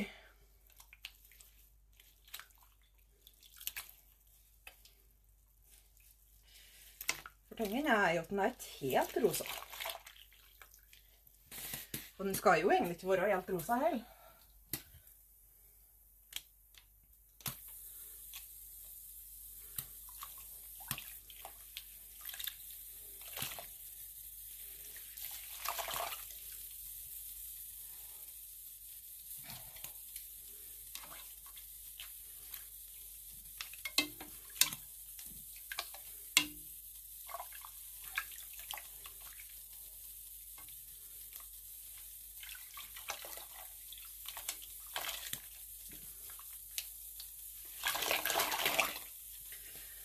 Ja. Så får ting der og kjølse ned litt. For nå Nå blir det andre boller. Nå blir det andre boller.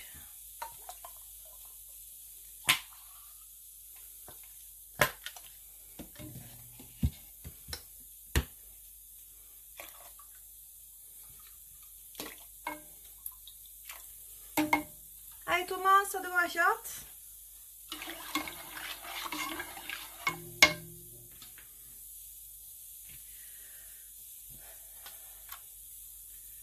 Nå er det plutselig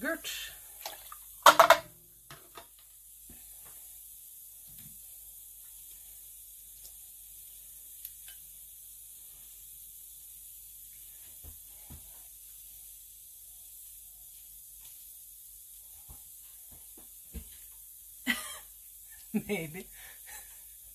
Du, altså.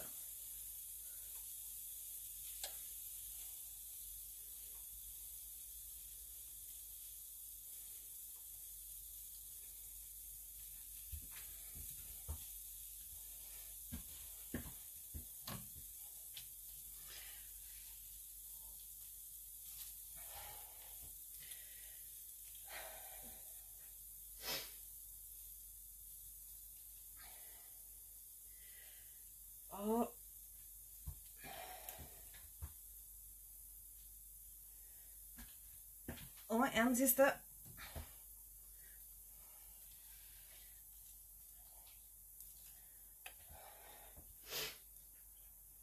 Akkurat på under kjøkkenglasset her, på utsida, så er det en bar flekk, både med snø og mose. For jeg driver og hiver ut syre med der. Og fordi at garna henger sånn. Nå blir det spennende.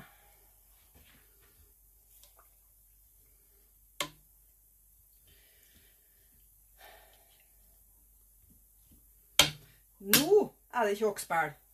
Hæ? Hva dere tror?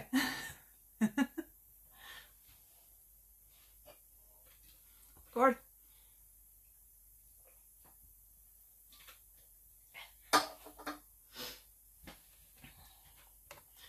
Og skal spette litt oppå her også, så det blir enda mer liv til den.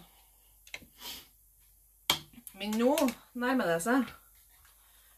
Men nå skal han bruke en evighet på den.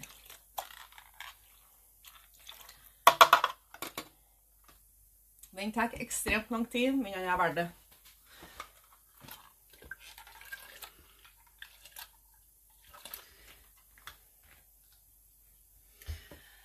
Skal jeg ta en ny eh, mini, da, sånn at uh, Toril Girlie kan slutte å krangle, så dere faktisk får en rosa. Jeg får se hvor broen tuklingen er borte.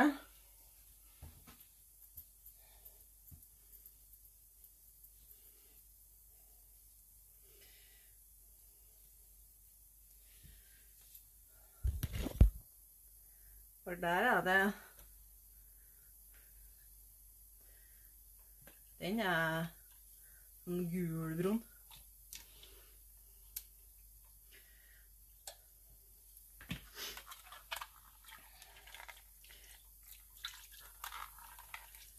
Skulle ikke tro at den var sånn med tanke på farger, men sånn er det. Skinnet kan bedra.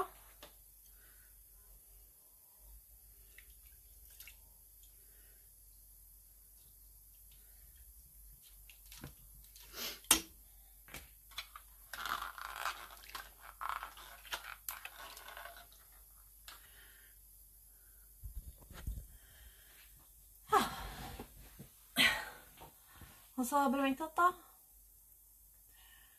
Fargefest på en lørdagskveld. Ja, det, det er fargerikt her. Jeg vet du har en spesialbestilling, Toril. Det blir det blir. Jeg har ikke glemt det. Skal bli artig det her, da. Fresse, den eh, har jeg jo nylig begynt å farge igjen.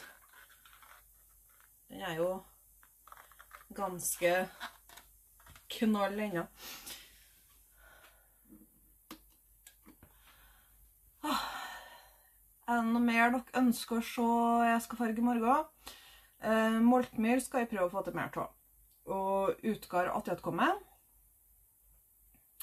Eh, Dolcy var det snakk om. Må jeg ha rene gryter, så det tror jeg må, jeg må starte med. Eventuelt farge rett etter å farge attåtkomme, for attåtkomme og Dolcy, dem går det an å blande, faktisk. Eh, kanskje jeg skulle farge mer hustre, for den er det lenge siden jeg farga nå. Men da er jeg nødt til å blande på nytt, for eh, den har blitt Ja, den har blitt litt hard oppi her. Hustre. Tror det kommer fukt oppi.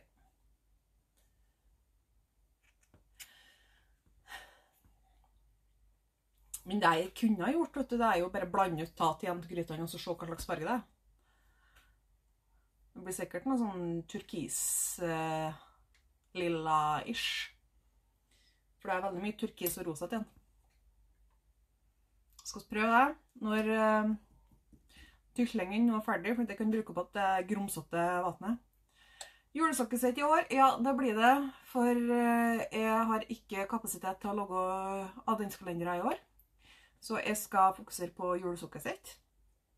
Blir ikke noe rundt den her, men eh, jeg skal, jeg skal få til det. Det skal jeg.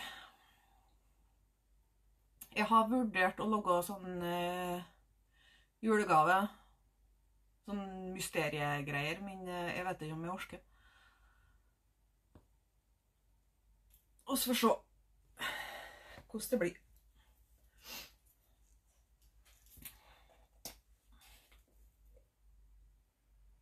Den er jo helt Helt død. Skal vi se. Har oss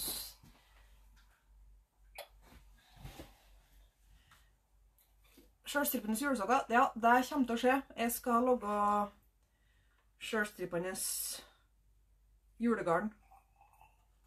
Det skal jeg. Så det er det bare å se fram til.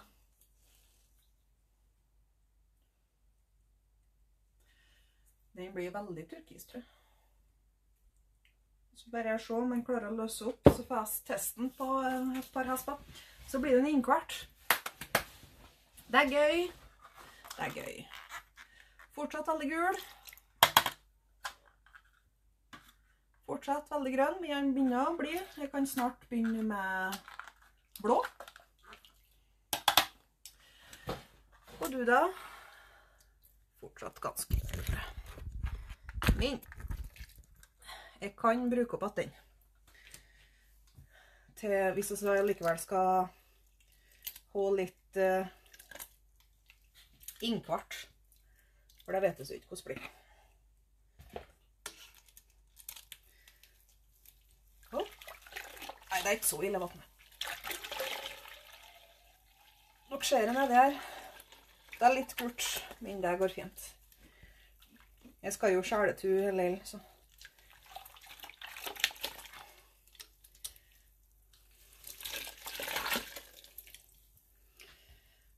Da opp. En tykling. To tykling. Og tre tykling. Da ble det tykling denne gangen her òg. Så bra, så bra. Skal vi se. Hva alle dager det her er for noe?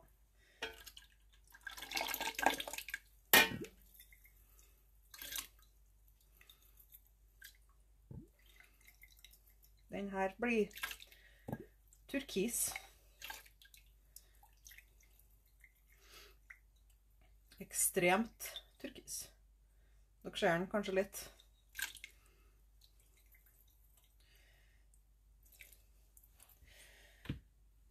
Og sve Se hva til.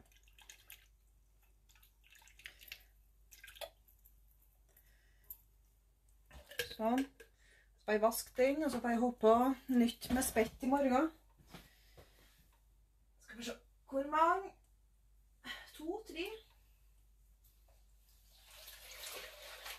Tre. Bare tror det er mye farge oppi her.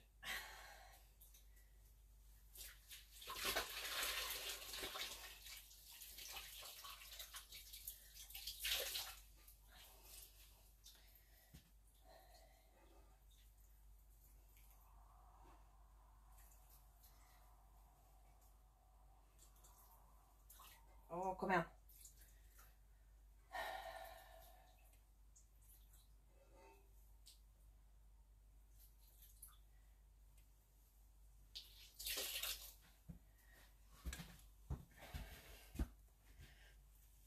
Skal stokken litt ujevn.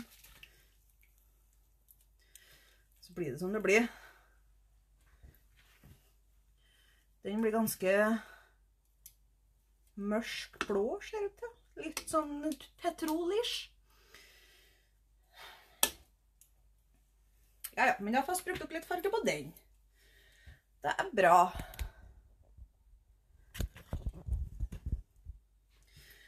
Prøver å ikke lette for mye gå til spille. Der oss kan.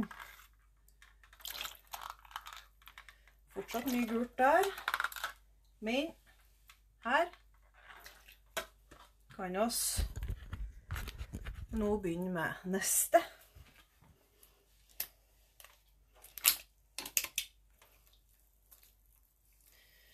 Egentlig litt lite vann oppi noen gryter her.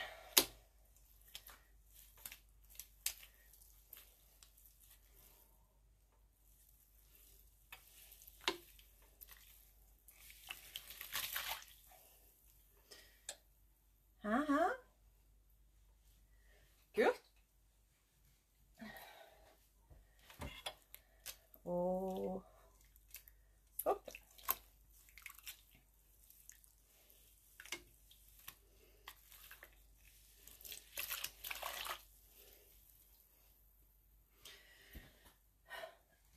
Oh. Slapp en mest ut glasset her.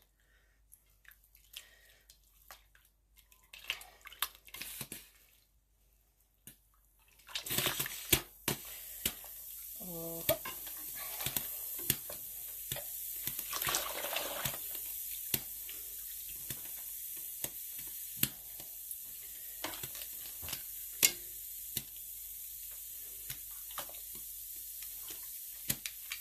Slapp. Takk.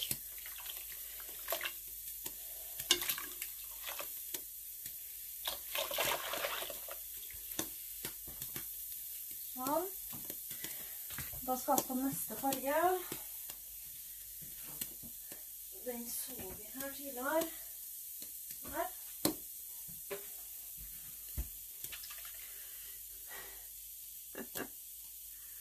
Where thinking? Nå, nei. Eh, akkurat det her er på ullbasen min, så den er kanskje ikke den beste, men jeg skal farge merino senere, og den er kjempegod, helt inn på hua. Så vet du det. Åh. Åh, ja. Der.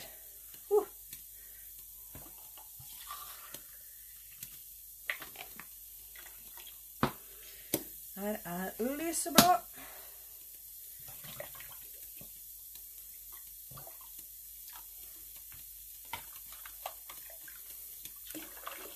Ser merkere ut enn den egentlig. Han er egentlig sånn.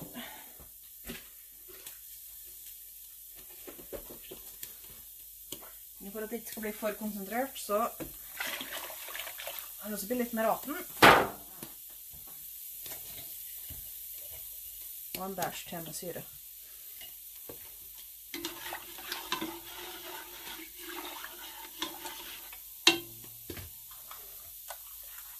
Hvor mange her ligger blått?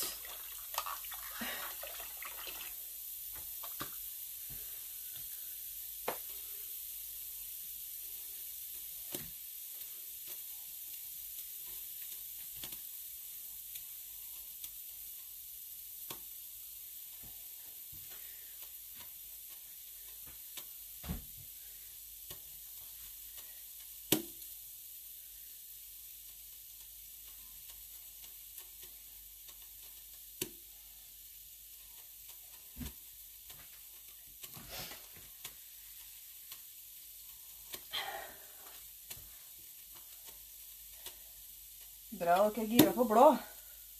For det er ikke jeg. Han blir ikke så så eh, kongelig blå som han ser ut til vannet. Han blir jo litt lysere. Mye lysere egentlig.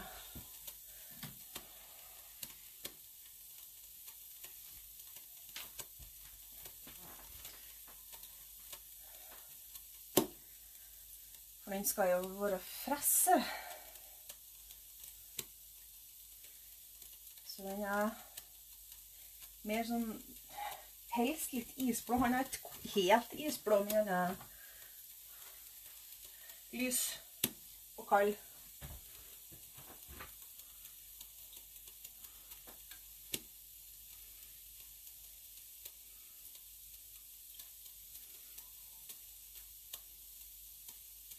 Så skal vi jo lilla spette opp igjen, så det blir jo masse liv til den her òg. Sånn.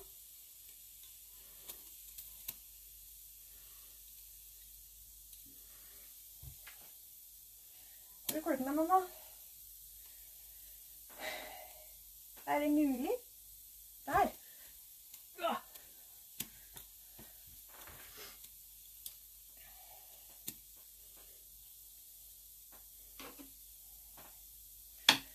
Og det her er jo egentlig en sånn kombo som var veldig fy-fy før i tida.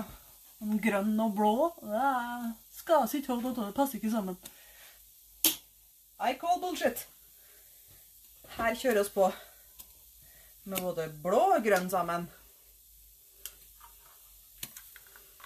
Oi, oi, oi. Nå er vi klar her òg, gitt. Se. Ha-ha-ha. Kjåkspæl, folkens. Nå er vi på siste Siste etappe med tjåkspel. Er klar?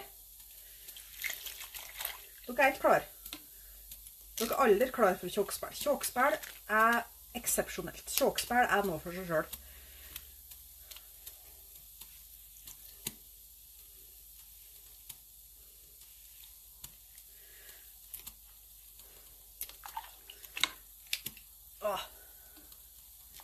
Kom igjen.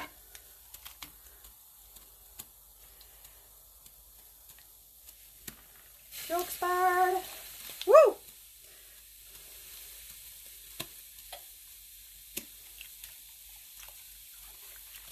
Hæ? Mann som sa lollipop. Isen lollipop. Hva tror du om det?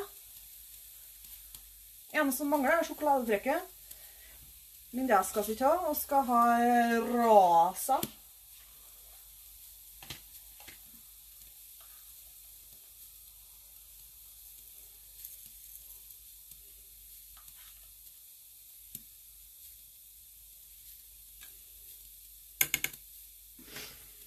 Rosa. Ha. Det, det gjør egentlig ikke noe mye med rosa spetter på for den er så rosa fra før, men det gir litt dybde. Det er litt tøft. Det er ikke så mye som skal til. Ha! Dette har virkelig blitt en favoritt for meg. Og veldig mange andre år, ser jeg. Kjøkkenspill er fantastisk. Min som dere nå har sett, den tar lang tid. Det tar for lang tid. Og fargen. Min. Det kommer tjåkspill. Fjorårets sommerfarge kommer til høsten, vinteren i år. Ja, det var på Pink jeg mente. Den med sjokoladetrekk og så blå pinne med tyggis inni. For den var rosa og gul.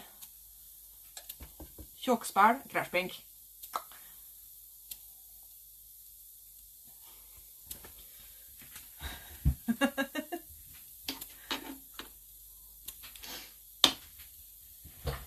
Dette liker vi.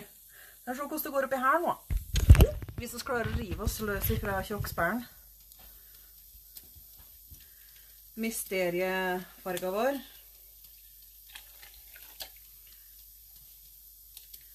Uh. Spanende.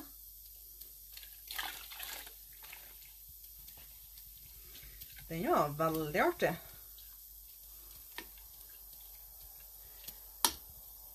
Hmm. Kan jeg gjøre noe med den, da? Er det noe vi kan legge til den? For å gjøre den mer spennende?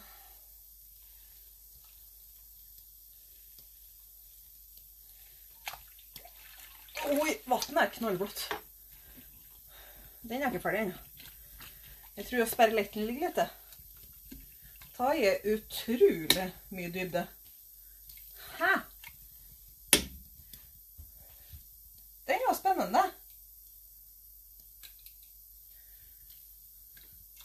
Det var kult. Denne liker vi. Noe helt annet.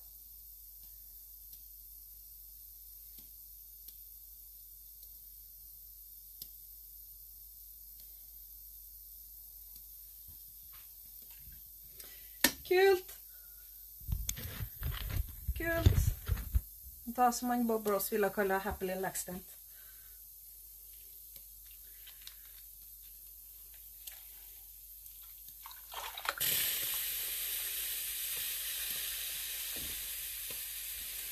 Og så må vi ha litt mer spetta. Så er jeg ikke ferdig med det her ennå. Fikk så lyst på is at du fant fram sandwich. Det er bra det, Toril.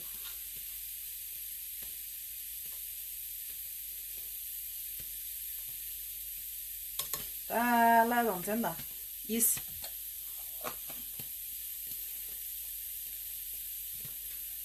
Gult på, de, på den mysteriefarga. Ja, jeg vurderte. Skal vi prøve? Oh. Nei, nå. Jeg lover, jeg har ikke drukket den eh, tripoden min som ikke er helt god. Skal vi prøve gult? Hva sier dere? Ja eller nei? Litt gult. Da vil jeg gjerne litt mer grønn.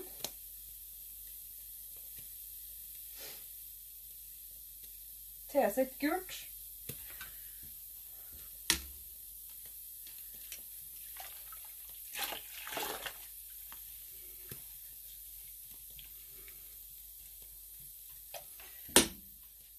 Yes, men da prøver å skurt.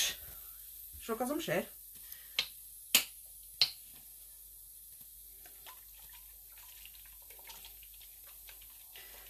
Og nå forsvinner snart uh, livestreamen igjen, så jeg får bare legge på til ny igjen. Ja, blir litt mer dybde med den.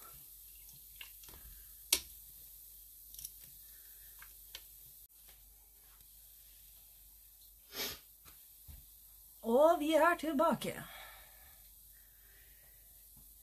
Vi er tilbake.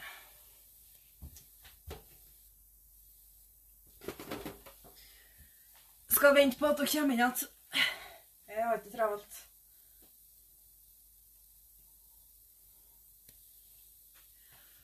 Så får dere sitte og se alle sammen.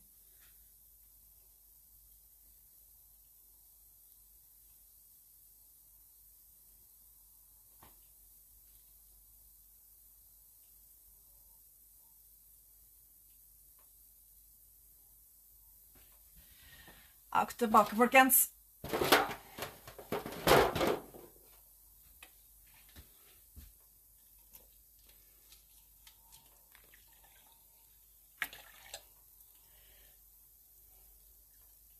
Hva tror dere med gult? Litt spennende.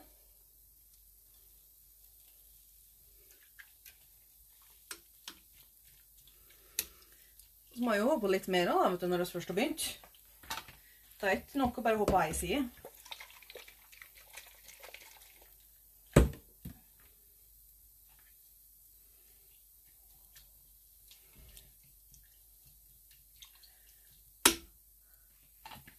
Jeg tror det blir bra. Det er ikke så verst med gult. Dere er ikke dumme nok.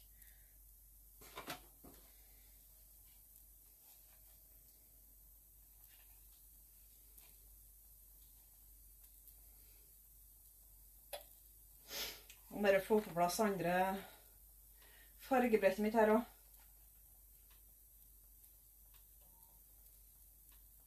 Så jeg faktisk kan se hva jeg holder på med, for det er så vanskelig å se skjermen når jeg har telefonen sånn. Det er så greit å se min egen stream, ikke sant? Ikke sant, ikke sant? Men det blir tøft, da. Synd at jeg bare har tre aspa.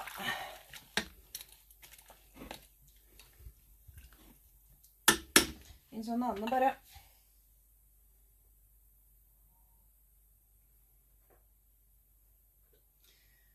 Sånn er det bare med den saken. Så her blir det førstemann til mølla.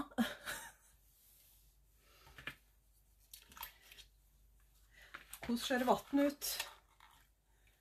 Vannet er lilla. Lillian! Det er lilla!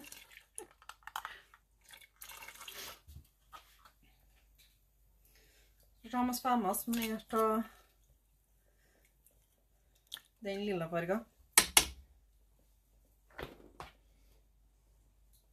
Det kan bli spennende.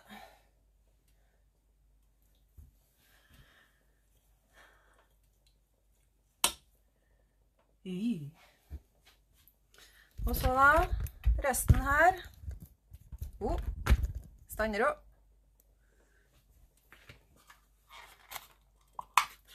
Den er litt rosa, men oss begynner å komme i morgen nå med tjokkspill.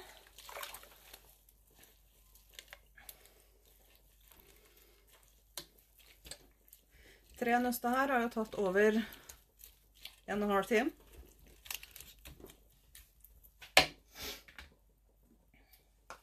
Ting tar tid.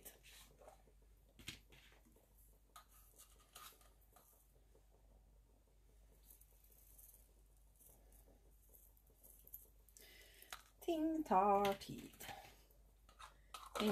Ellers har det ikke vært noe artig. Hvis det har gått fort å farge garn, så har jo alle sammen gjort det. Og da har det ikke vært noe gøy. Her er det fortsatt litt blått. Men det nærmer seg da òg. Ganske bra, faktisk. Wii, wii. Det blir sent, kanskje.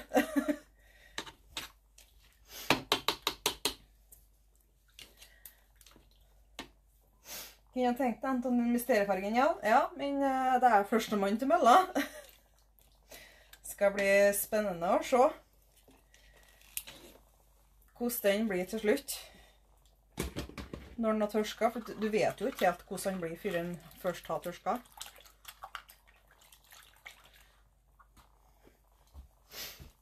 Skal vi se. Da åpner vi presset.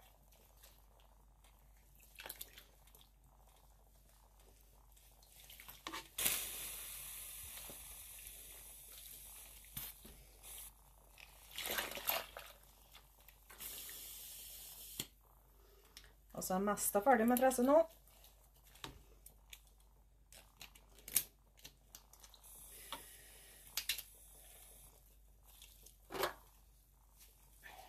Og- Kom igjen.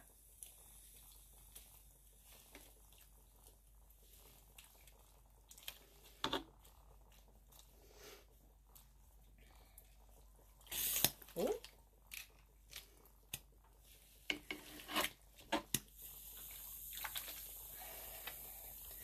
Og en til.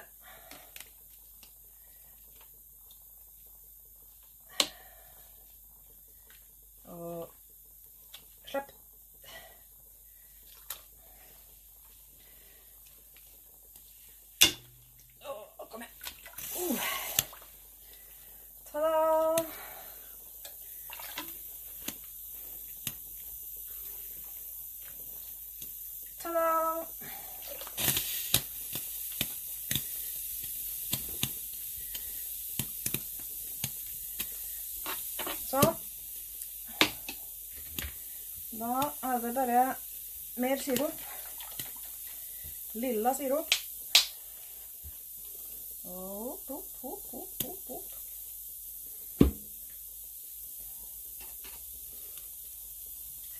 trenger ikke å dytte den ut for mye på meg her, for det er artig at det er litt konsentrerte felt på presset.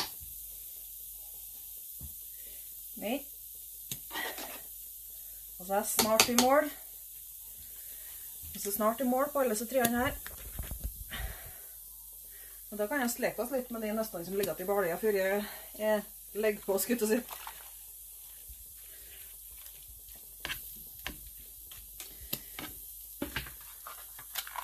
Men da har vi faktisk eh, fått farga 30 hesper på den lille ria her. Min kjåkspill tar fortsatt lang tid. Og hvordan går det med mysteriet nå? Her var det veldig gult borte. Spennende. Uh. Den var kul, da. Hæ? Derfor bruker jeg svamper. Det blir så artige artige mini, kontraster på det.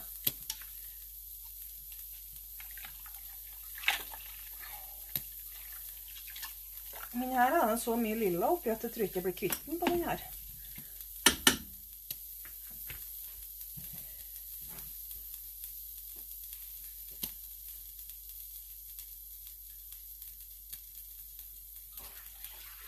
Jeg har tre hesper til.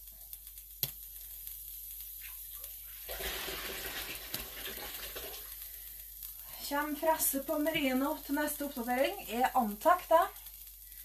det. Det ligger korta, for å si det sånn. Så det er god sjanse for at det blir.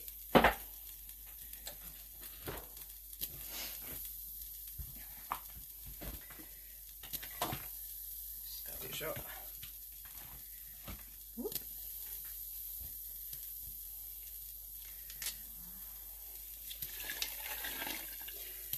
Tror bare må redde unna den.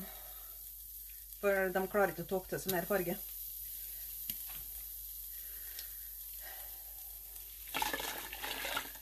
Garnet her er noe mørka.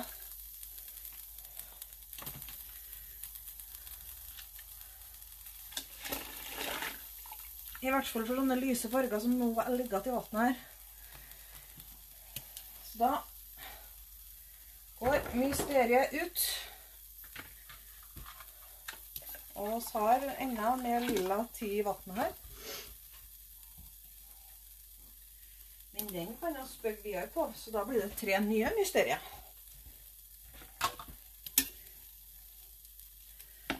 Så man kan suge til den først.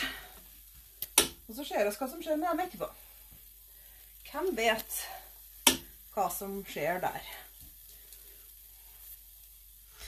Så kom med forslag til hva hva jeg skal gjøre med de tre nye ah, mysteriet hesper. Hva dere lyst til å se på dem? Det kommer til å bli lyst lilla i bunnen, så kanskje jeg skal kjøpe på meg noe pastell. Jeg har jo mye sånne små rester som jeg kunne bli kvitt, vet du.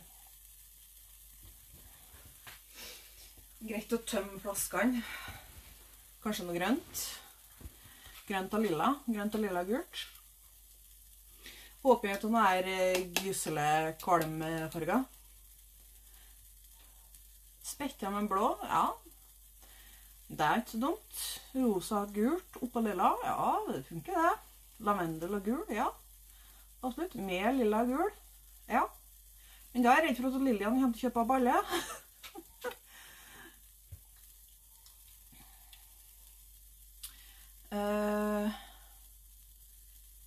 jeg har Jeg kjølegod lilla for Skal vi se om jeg har henne oppvarga eller oppblanda.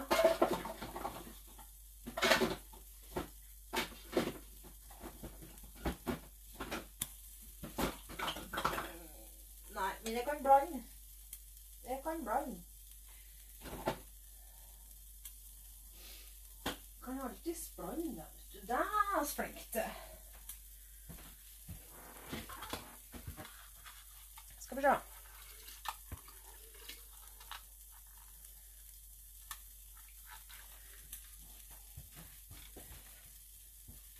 Nå ser jo ikke dere når jeg sitter her og blander.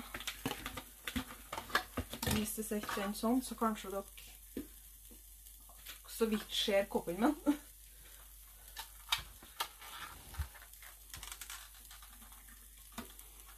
Ser nå. Hvis vi da tar ørlite grann rasa. Ikke noe mye. Det skal ikke noe mye til. Men husk på at det skal på tre hesper. Du stillefarger på tre hesper. Hvor er blå. Og den er toppa ekkel. Åh. Jeg må bytte topp, tror jeg, på den blå. Eller Vent nå. Hvis skal steke gjerskveld i stedet for den blå, hva skjer da? Hvis vi tar en dråpe eller to med den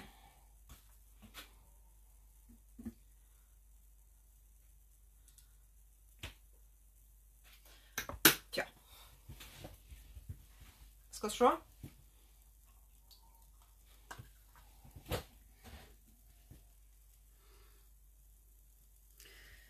Er dere klar?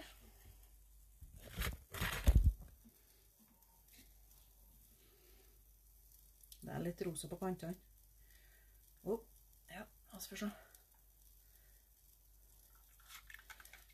Ja.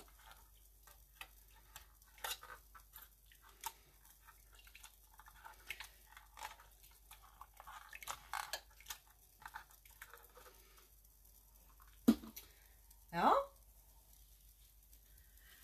Er du, den. Rosa-lilla. Hva dere tror?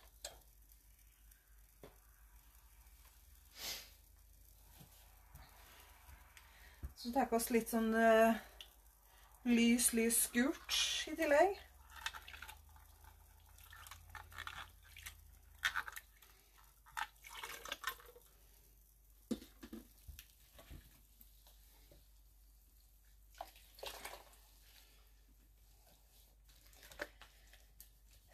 Bare snu fresa her.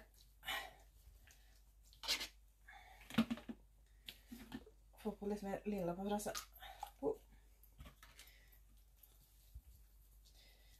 Dere går ikke glipp av noe dere allerede har sett. Eh, Rent vann. Vaske eller blande ut den gul. Hvis vi snur den i tillegg, så blir den bra. Et par dråper med gult.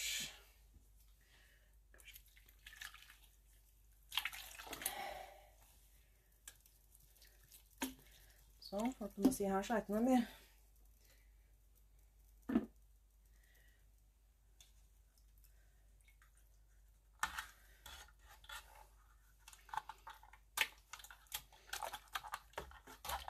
Sitrongul. Grønt. Skal jeg slenge på noe her eh, gysle grønne menn? Det har ikke vært så dumt, det. Tror du det? Det er det som er med det her, vet du. Så kan gjøre akkurat det vi og det blir så artig uansett. Det blir veldig pastell uansett hva jeg ser. Det er litt gøy.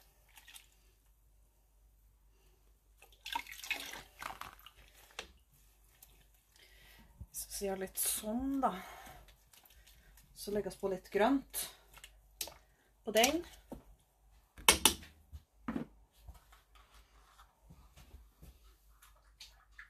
Den der gusje grønne Skal vi se. Hvor er den igjen, da? Der. Et par dråper.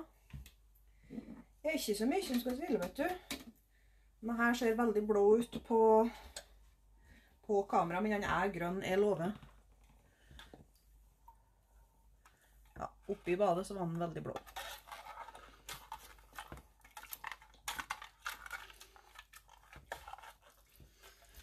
Hmm. Skatt mer av den, tror jeg. Jeg får holde litt på, på andre sida òg, tror jeg. Tona. Så spiller litt mer på den. Men nå skulle vi gjerne hatt med lilla òg, da.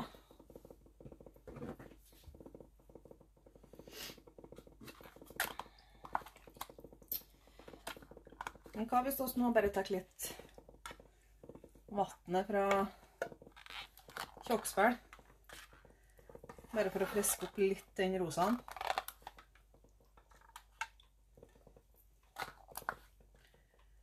For vi kan jo bare legge den oppi det vannet etterpå, hvis vi vil det. Det er mye tammere på kamera enn det er i virkeligheten, altså. Og det kommer til å bli tammere når vi får tørska hespene òg. Sånn er det bare.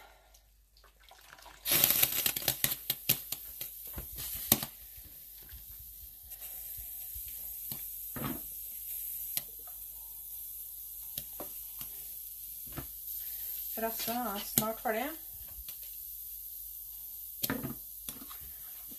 Stjel vann herifra nå. Det er fortsatt mye lilla til vannet. Og så smot litt på den.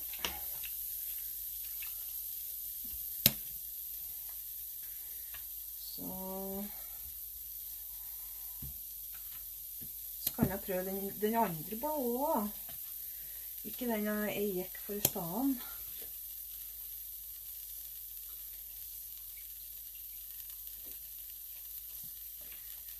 Det er en bæsj rosa.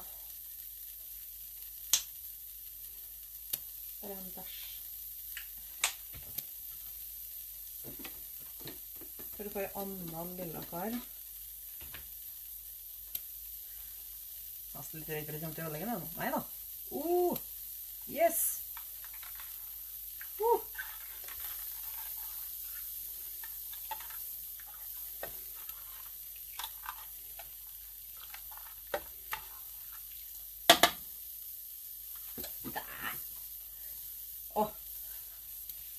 Snakker om pasteller.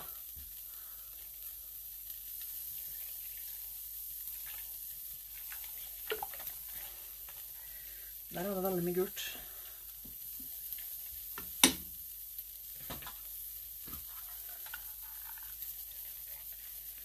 Og litt mer rosa pastell. Hvor er det blå?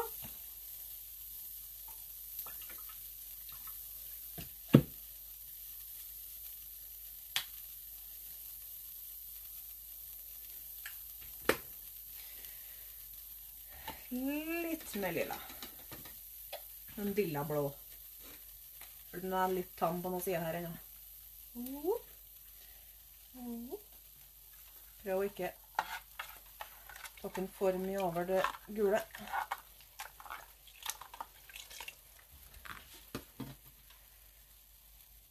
Too much? Nei. Men husk på at den er lysere i versleten når den får tørska seg.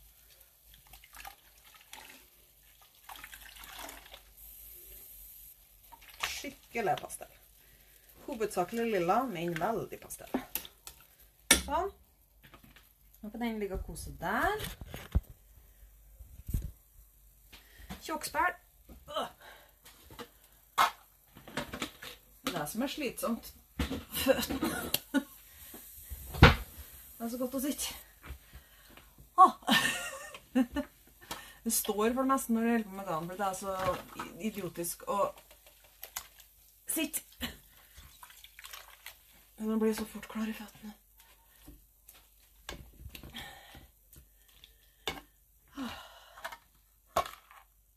Her er det fortsatt rosa. Vind, den nærmer seg. Den nærmer seg. Oh. Den nærmer seg. Det Blir jo ikke sittende så Jeg La ut noe forskjell.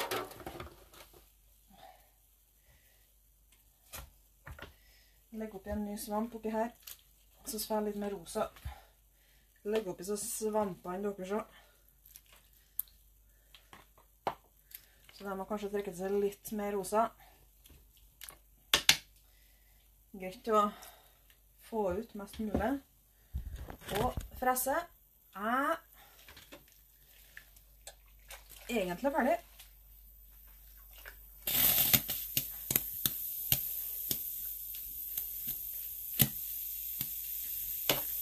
Hæ?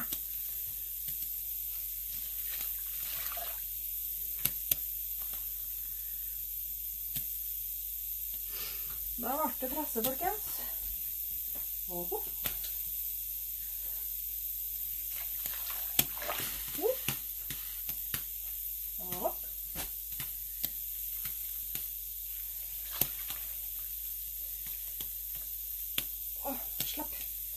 Dere får ikke være venner.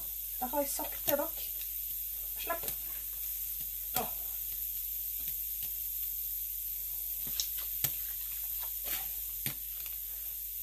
Være litt. Og en til. Så spør vi med frese. Uh! Så hvis vi legger mysteriehespen oppi her, så skal dere se at vannet her blir lilla. Igjen.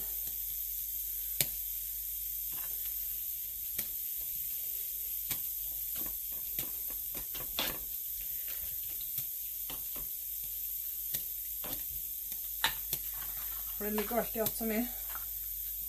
Det er fortsatt lilla. sånn kan det gå. Hjelp å bytte gryta. Nå er vi egentlig ferdig. Jeg har ikke mer garn i kveld heller, så nå, nå er det fritt for alle. Egentlig.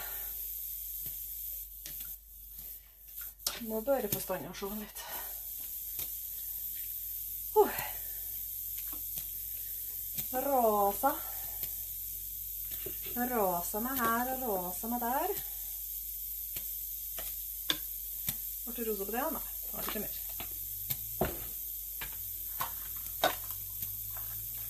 Da er den her og metta. Tjokkspæl er ferdig.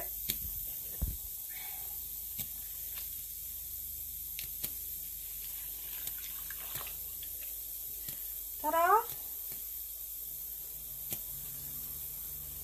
Tjokkspæl er ferdig. Den må få en ekstra ekstra runde med skylling for å være sikker på at jeg får alt i rosa. Sånn er det bare. Kjøkkenbær.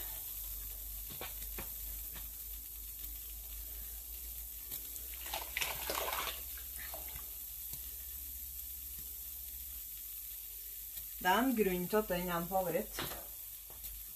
Det er en grunn til. Skal vi se. Hvor lilla er du? Fortsatt lilla. Og mysterium nummer to. Pastellen. Ja, mest har klart fått med allerede. Så det er nå snart ferdig for i kveld, folkens.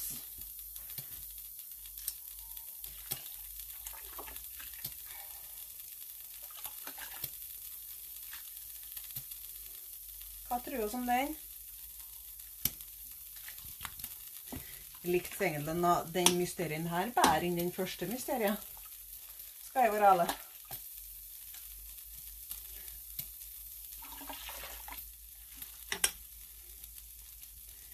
Det er jo det som er så artig med disse her innkvartespene. Det kan bli hva som helst.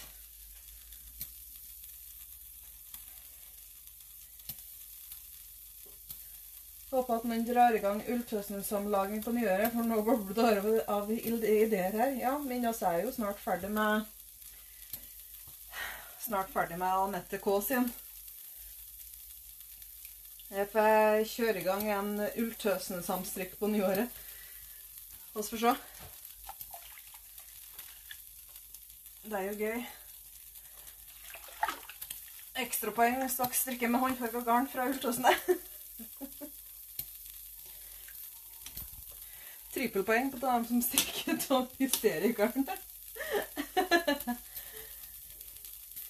Lekker til. Lett sommersjal, ja. Mm. Bare strikking? Ja, det blir jo det da, i så fall.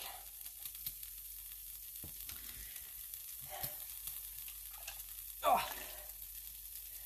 Kjenner at det er nok for i dag.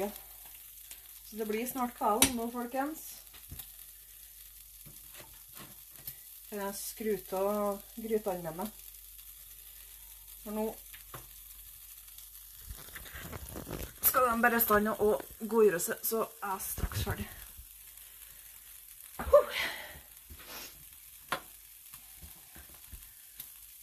Ja, veldig uvant til meg å være men iblant så er det jo sånn som skjer. Anna Marlen, nå er du mest for sen, altså. Hvor var du for to og en halv time siden? Nei da. Eh, hva dere tror? Er det stemning for garnfarging i morgen, eller? Jeg vet ikke når eventuelt det starter, men eh, hvis det er interesse, så kan jeg kjøre i gang livestream om morgenen. Det går jo egentlig litt av seg sjøl. Og da kan du være med, Anne Meilen.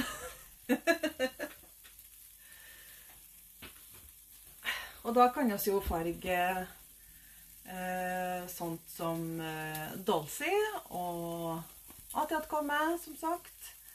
Eh, molkmyr, eh, som også tar av.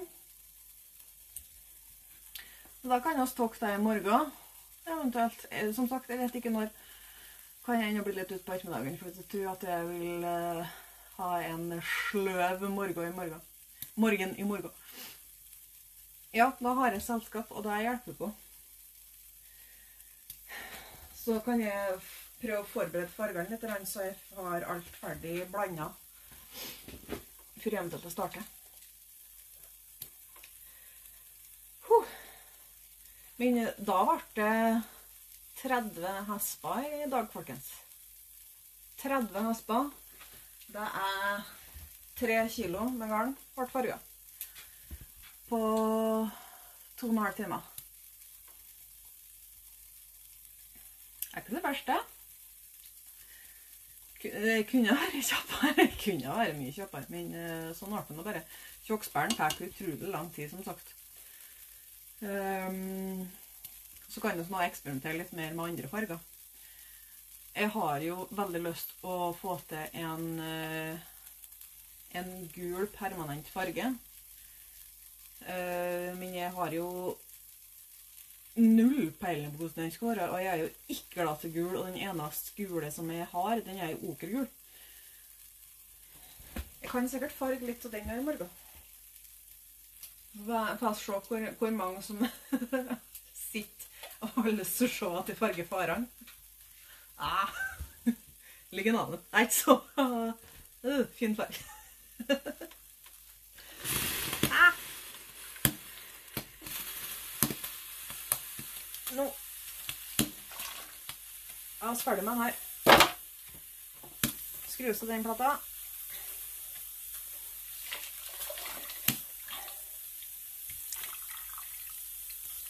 Mysterium nummer én.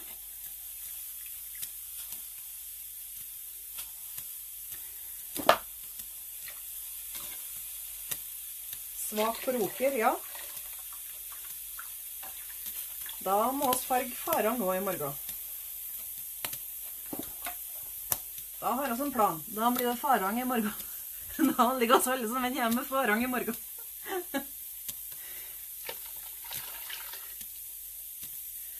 Og mysterium nummer to.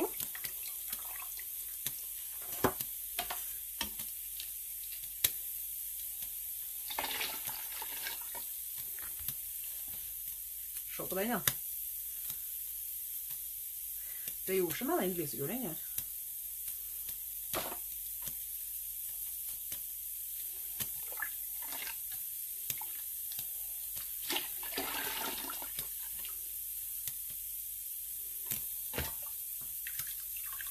Lekkert. Lekkert, lekkert. Nei, men da Du må stille deg, cowgirly. Det er førstemann til mølla når det kommer til den.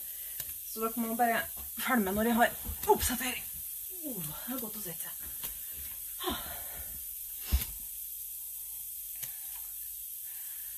Takk for en koselig og informativ sending. Nå skal jeg forte meg å bli ferdig med de hersens sokkene, sånn at jeg kommer i gang med hakking igjen.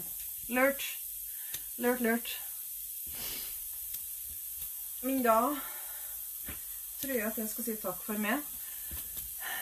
Må følge med den i morgen, jeg, da. Ja, du må det, Anne Meile. um, Døker garnlaget med tre kilo fjellrosa. Ja, gjør det. Um, hva jeg skulle si? Det var noe jeg skulle si, men jeg ble helt forstyrra av hegetrollet. Um, hva var det jeg helt på skulle si, da? Det datt helt ut, det. Jo um, Jeg har lasta ned de tidligere livesendingene, så jeg har dem lagra, forhåpentligvis, så alle sammen. Så jeg kan prøve å redigere dem litt, så se om jeg får ut på podkastkanalen på YouTube. Så ligger de der, vil jeg tro. Jeg kan også se om jeg får dem ut på sånn Instagram-TV her innpå. Så ligger de til senere òg, så at kanskje andre vil se dem senere. tilfelle var noe spesielt. Kan du lage en gulfarge inspirert av en fjellblomst? Tepperot eller noe? Ja, kanskje. For det, det, er jo det jeg har gjort med Mogop. Og den er det jo gult ti, men den er jo ikke hovedsakelig gul.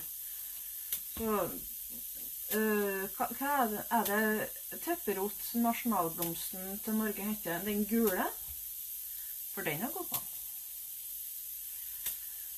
Strikking for alle penger her i kveld. Ja, men det er bra. Takk for i kveld. Så moro å følge med deg live. Natta vi larmer godt. Du, jeg skal hvile ryggen. Ja, skal fortelle. Armene Armene er greie. Ryggen er mer sliten. Ikke vondt, bare sliten. jeg skal ta og strekke den ut litt etterpå. Så blir det. Men da tror jeg at jeg skal si takk for i dag. Takk for i kveld. Så kan det jo hende at det blir en ny runde i morgen. Det ser sånn ut. Ser lovende ut for deg i hvert fall. Varme masker. Nå kom du akkurat for sent. Nå holder du på å stenge av. Tusen takk for en kjempekoselig fargekveld, Lise. Jo, takk for at du så på. Strikkhylle, du kommer for sent. Dere får komme tilbake i morgen, så ser oss på da.